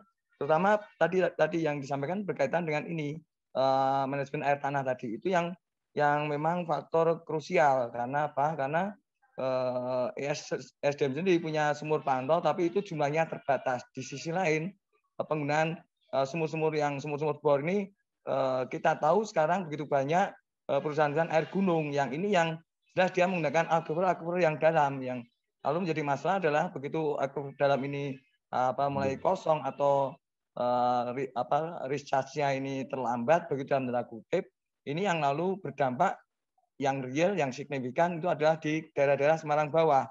Sehingga ada infiltrasi air laut, di sisi lain ada kekosongan uh, aquifer yang lalu menjadikan uh, muka air tanah uh, muka tanah tadi akan turun demikian juga muka air tanahnya sehingga uh, apa namanya saya pikir memang kita perlu ada keterpaduan di sini antara di perguruan tinggi lalu di apa uh, di BMKG lalu di ESDM dan juga uh, apa dengan perusahaan-perusahaan yang mungkin apa namanya membutuhkan ketersediaan air uh, tanah sebagai air bakunya. Saya kira demikian Pak Medi. Iya, makasih.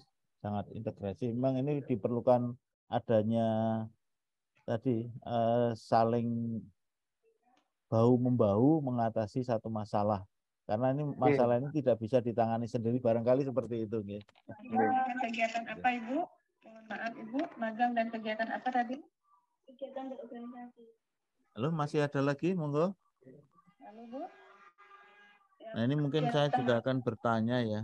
Jadi barangkali bagi moderator tapi ingin bertanya berkaitan dengan eh, tadi eh, mengatasi tentang ROP itu barangkali.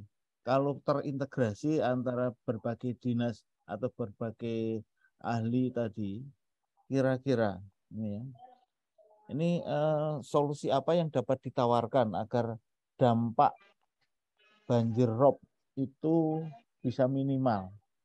Barangkali seperti itu. Kira-kira solusi apa yang bisa ditawarkan ke uh, pemerintah barangkali seperti itu. Ini berkaitan dengan riset ke depan atau solusi yang harus diambil barangkali itu.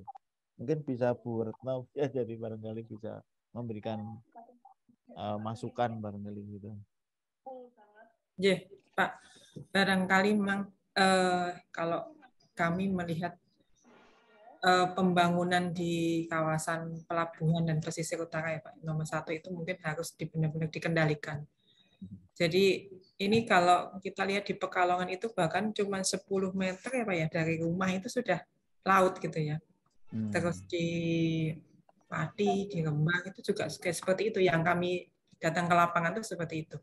Nah ini harus ada ketegasan dari pemerintah tentang pembangunan Eh, di kawasan pesisir gitu.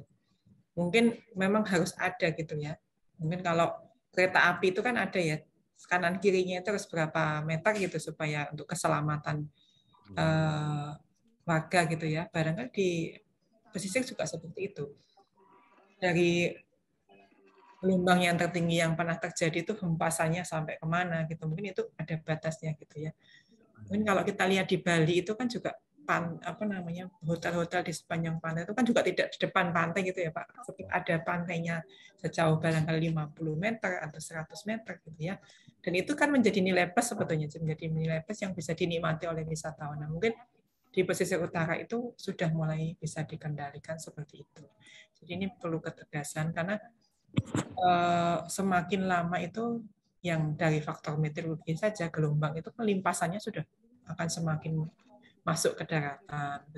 Nah itu juga kalau ketemu angin itu juga akan menimbulkan abrasi. Nah itu ketika itu jadi menjadi apa ya ketika mereka terjadi bencana padahal mereka membangun sendiri gitu ya di tepi pantai ketika terjadi bencana jadi kayak menjadi tugas pemerintah gitu. sementara mereka mungkin ditinggalkan saja sudah susah gitu.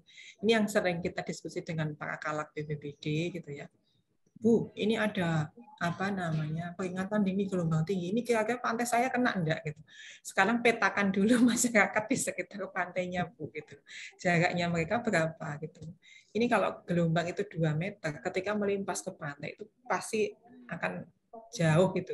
Jadi kalau yang cuma 10 sampai 20 meter ya pasti kena. Nanti kalau kena ya mungkin ya BPD akhirnya tanggap bencana, keluar lagi dana anggaran untuk tapi kan mereka tidak berpindah, Pak. Jadi akan berulang setiap tahunnya seperti itu. Jadi manajemen di apa pembangunan di pesisir utara itu harus mengedepankan ya faktor-faktor yang tadi sudah ada perubahan iklim, kemudian sudah ada bahkan penurunan tanah juga sudah. Jadi apakah kawasan kawasan ini memang layak untuk dibangun suatu pemukiman atau suatu industri?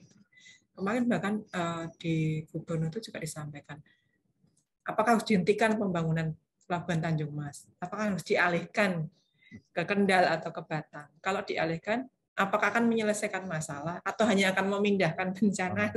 Ya, bencana yang sama saja gitu kan. Kalau misalnya industrinya berpindah ke Kendal ataupun ke Batang, nanti sama saja juga ada pengambilan air tanah besar-besaran dan sebagainya dan sebagainya. Ini apakah seperti itu. Bahkan Elindo sendiri juga silakan kalau memang mau dibuka pelabuhan baru dan manajemennya akan dipindahkan dari Pelindo ke, ke instansi yang lebih bisa gitu mungkin mereka juga sudah. Artinya kalau kita diskusi itu setiap tahun dulu oh, kita tuh bangun investasi sekian belum selesai sebelah sana sininya sudah.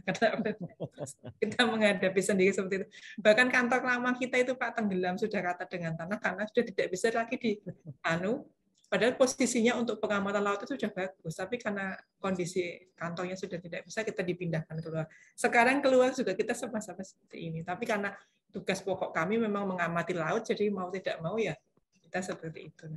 Ini yang mungkin manajemen untuk pembangunannya itu harus diperhatikan dari kajian-kajian eh, para ahli dan juga dari segi meteorologinya. Terima kasih. Yeah. Ini mungkin satu lagi ada yang masih menggelitik barangkali ini berkaitan dengan iklim ini Bu. Ini mungkin berkaitan dengan Bu Retno ini. ini dari sisi iklim mungkin ya. Jadi sebetulnya uh, fenomena alam apa yang utama itu berkaitan dengan yang menjadi penyebab tingginya gelombang laut sehingga kemarin itu kan sebetulnya pemicu utamanya gelombang laut yang sangat besar yeah. kan gitu ya. Yeah, yeah. Nah, itu ditunjang dengan penurunan. Kalau penurunannya kan pelan-pelan, tapi kalau ya, ini berkaitan dengan tingginya gelombang itu itu nggak bisa langsung diatasi kan gitu. Nah ini iya, iya. kira-kira penyebab iya. utamanya ini apa ini Bu? Kalau dari pengamatan kami Pak, memang rob di Jawa di pesisir utara Jawa Tengah khususnya ya di Semarang itu dari tahun 2002 itu memang puncaknya ada di bulan April, Mei dan Juni gitu. Nah, eh, pernah beberapa kajian katanya ada apa aliran gelombang Kelvin gitu ya pada saat itu yang apa namanya memang e, menjalannya kan agak lama gitu waktunya.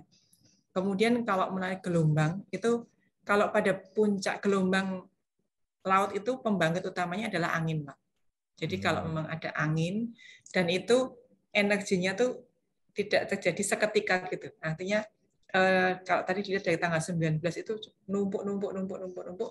Nah, kemudian terakumulasi di tanggal 23 gitu. Jadi nah, seperti itu. Ya, jadi tidak tidak hal yang seketika terjadi. Kita mengamatinya tuh hari per hari. Oh, ini arahnya. Kemudian arahnya itu juga tegak lurus. Jadi gelombang itu kan punya arah ya, Pak ya. Nah, iya, kemudian iya, iya. arahnya itu tegak lurus ke pantai utara Jawa Tengah. Ini juga menimbulkan hal yang berbeda. Jadi sebenarnya gelombang kemarin itu pada kategori sedang, Pak tidak tinggi sekali gitu. Tetapi karena arahnya itu uh, kebetulan benar-benar menuju gitu ya. Nah ini yang harus kita uh, pantau terus supaya ada mitigasi ke depannya gitu. Kemudian kita kadang-kadang suka memberikan peringatan dini tapi ya gitu. Jadi angin lalu. Uh, iya, ketika terjadi oh iya ya Bu peringatan dininya betul gitu. Nah, itu yang yang kita harus me, apa ya memberikan pemahaman kepada masyarakat. Jadi pembangkit utama dari gelombang itu adalah nomor satu angin. Yang kedua kalau ada gempa pasti Pak, gempa di laut itu nomor iya, dua. Yeah, Nah itu. Jadi angin itu seperti bulan ini kan puncaknya kemarau nih, puncaknya angin timur ini Pak. Ini iya, gelombangnya iya. juga sedang tinggi. Jadi puncak itu bukan punya puncaknya angin barat, tetapi juga puncaknya angin timur itu gelombangnya juga tinggi. Itu Pak bisa saya Terima kasih Bu Retno. Nah, ini kalau ini masih ada pertanyaan barangkali dari peserta. Kalau tidak ada mungkin bisa saya akhiri itu sesi ini dan nanti saya serahkan kembali kepada mungkin gitu ya. Kita beri applause untuk para penyaji yang telah men, menyampaikan dengan sangat luar biasa dari berbagai aspek meninjau hanya satu masalah banjir rob gitu ya. Jadi memang kaitannya dengan banyak hal eh, bisa karena menurun permukaan tanahnya, bisa karena eh, gelombangnya tinggi, kemudian turunnya bisa disebabkan oleh karena ada pengambilan air tanah yang berlebihan ini sangat kompleks sebetulnya kejadian rob di pantai utara Semarang. Tapi kalau kemarin melihat dari eh, pantai utara seluruh Jawa itu hampir mengalami banjir rob, itu tentu utamanya adalah berkaitan dengan uh, iklim, angin tadi yang terlalu besar sehingga semuanya mengalami banjir rob. Kan yang dulunya di Rembang itu belum pernah terjadi, kemarin juga mengalami seperti itu. Tapi kalau Semarang itu memang sejak zaman dulu sudah terbiasa Semarang kali ini banjir gitu ya Bu ya. Barangkali itu tapi tapi memang sudah lama di Semarang itu seperti itu. Tapi ini di akhir-akhir ini penelitian-penelitian yang telah dilakukan eh, berkaitan dengan penurunan air tanah atau itu land subsidence itu memang mengindikasikan terjadinya penurunan tanah yang cukup besar. Nah itu eh, pengendalinya tentu ini banyak hal tadi berkaitan dengan pengambilan air tanah dan ini nantinya harapannya itu memang ini penguasanya air tanah itu adalah dinas ESDM gitu. Nah, dinas ESDM tentu akan eh, banyak hal yang harus dilakukan. PR-nya banyak tentunya seperti itu. Itu kira-kira eh, kesimpulan yang bisa saya sampaikan berkaitan dengan pelaksanaan eh, kegiatan webinar Rob pada kali ini. Eh, terima kasih sekali pada tim penyaji dan waktu saya kembalikan kepada MC. Terima kasih, kurang lebihnya mohon maaf. Bila taufik walidaya. Wassalamualaikum warahmatullahi wabarakatuh. Monggo.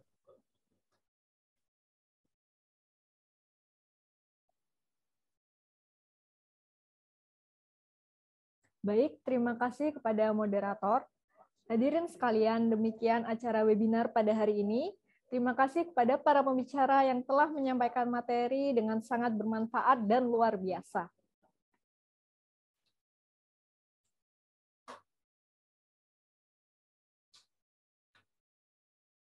Apresiasi kami berikan kepada Bapak Dr. Heri Andreas STM. Ibu Retno Widyaningsi Eskom MSI, dan Bapak Dr. Muhammad Aryono Adi MSI. Mari kita berikan tepuk tangan atau reaction untuk para pembicara kita yang hebat pada hari ini. Dan inilah akhir dari acara webinar hari ini. Saya selaku pembawa acara memohon maaf apabila terdapat tutur kata yang kurang berkenan. Sampai jumpa di acara webinar selanjutnya. Wassalamualaikum warahmatullahi wabarakatuh. Waalaikumsalam warahmatullahi wabarakatuh. Terima kasih. Waalaikumsalam warahmatullahi wabarakatuh. Terima kasih Bapak Ibu izin live. Terima kasih Bruno. Sami-sami Pak, Pak Kumaidi.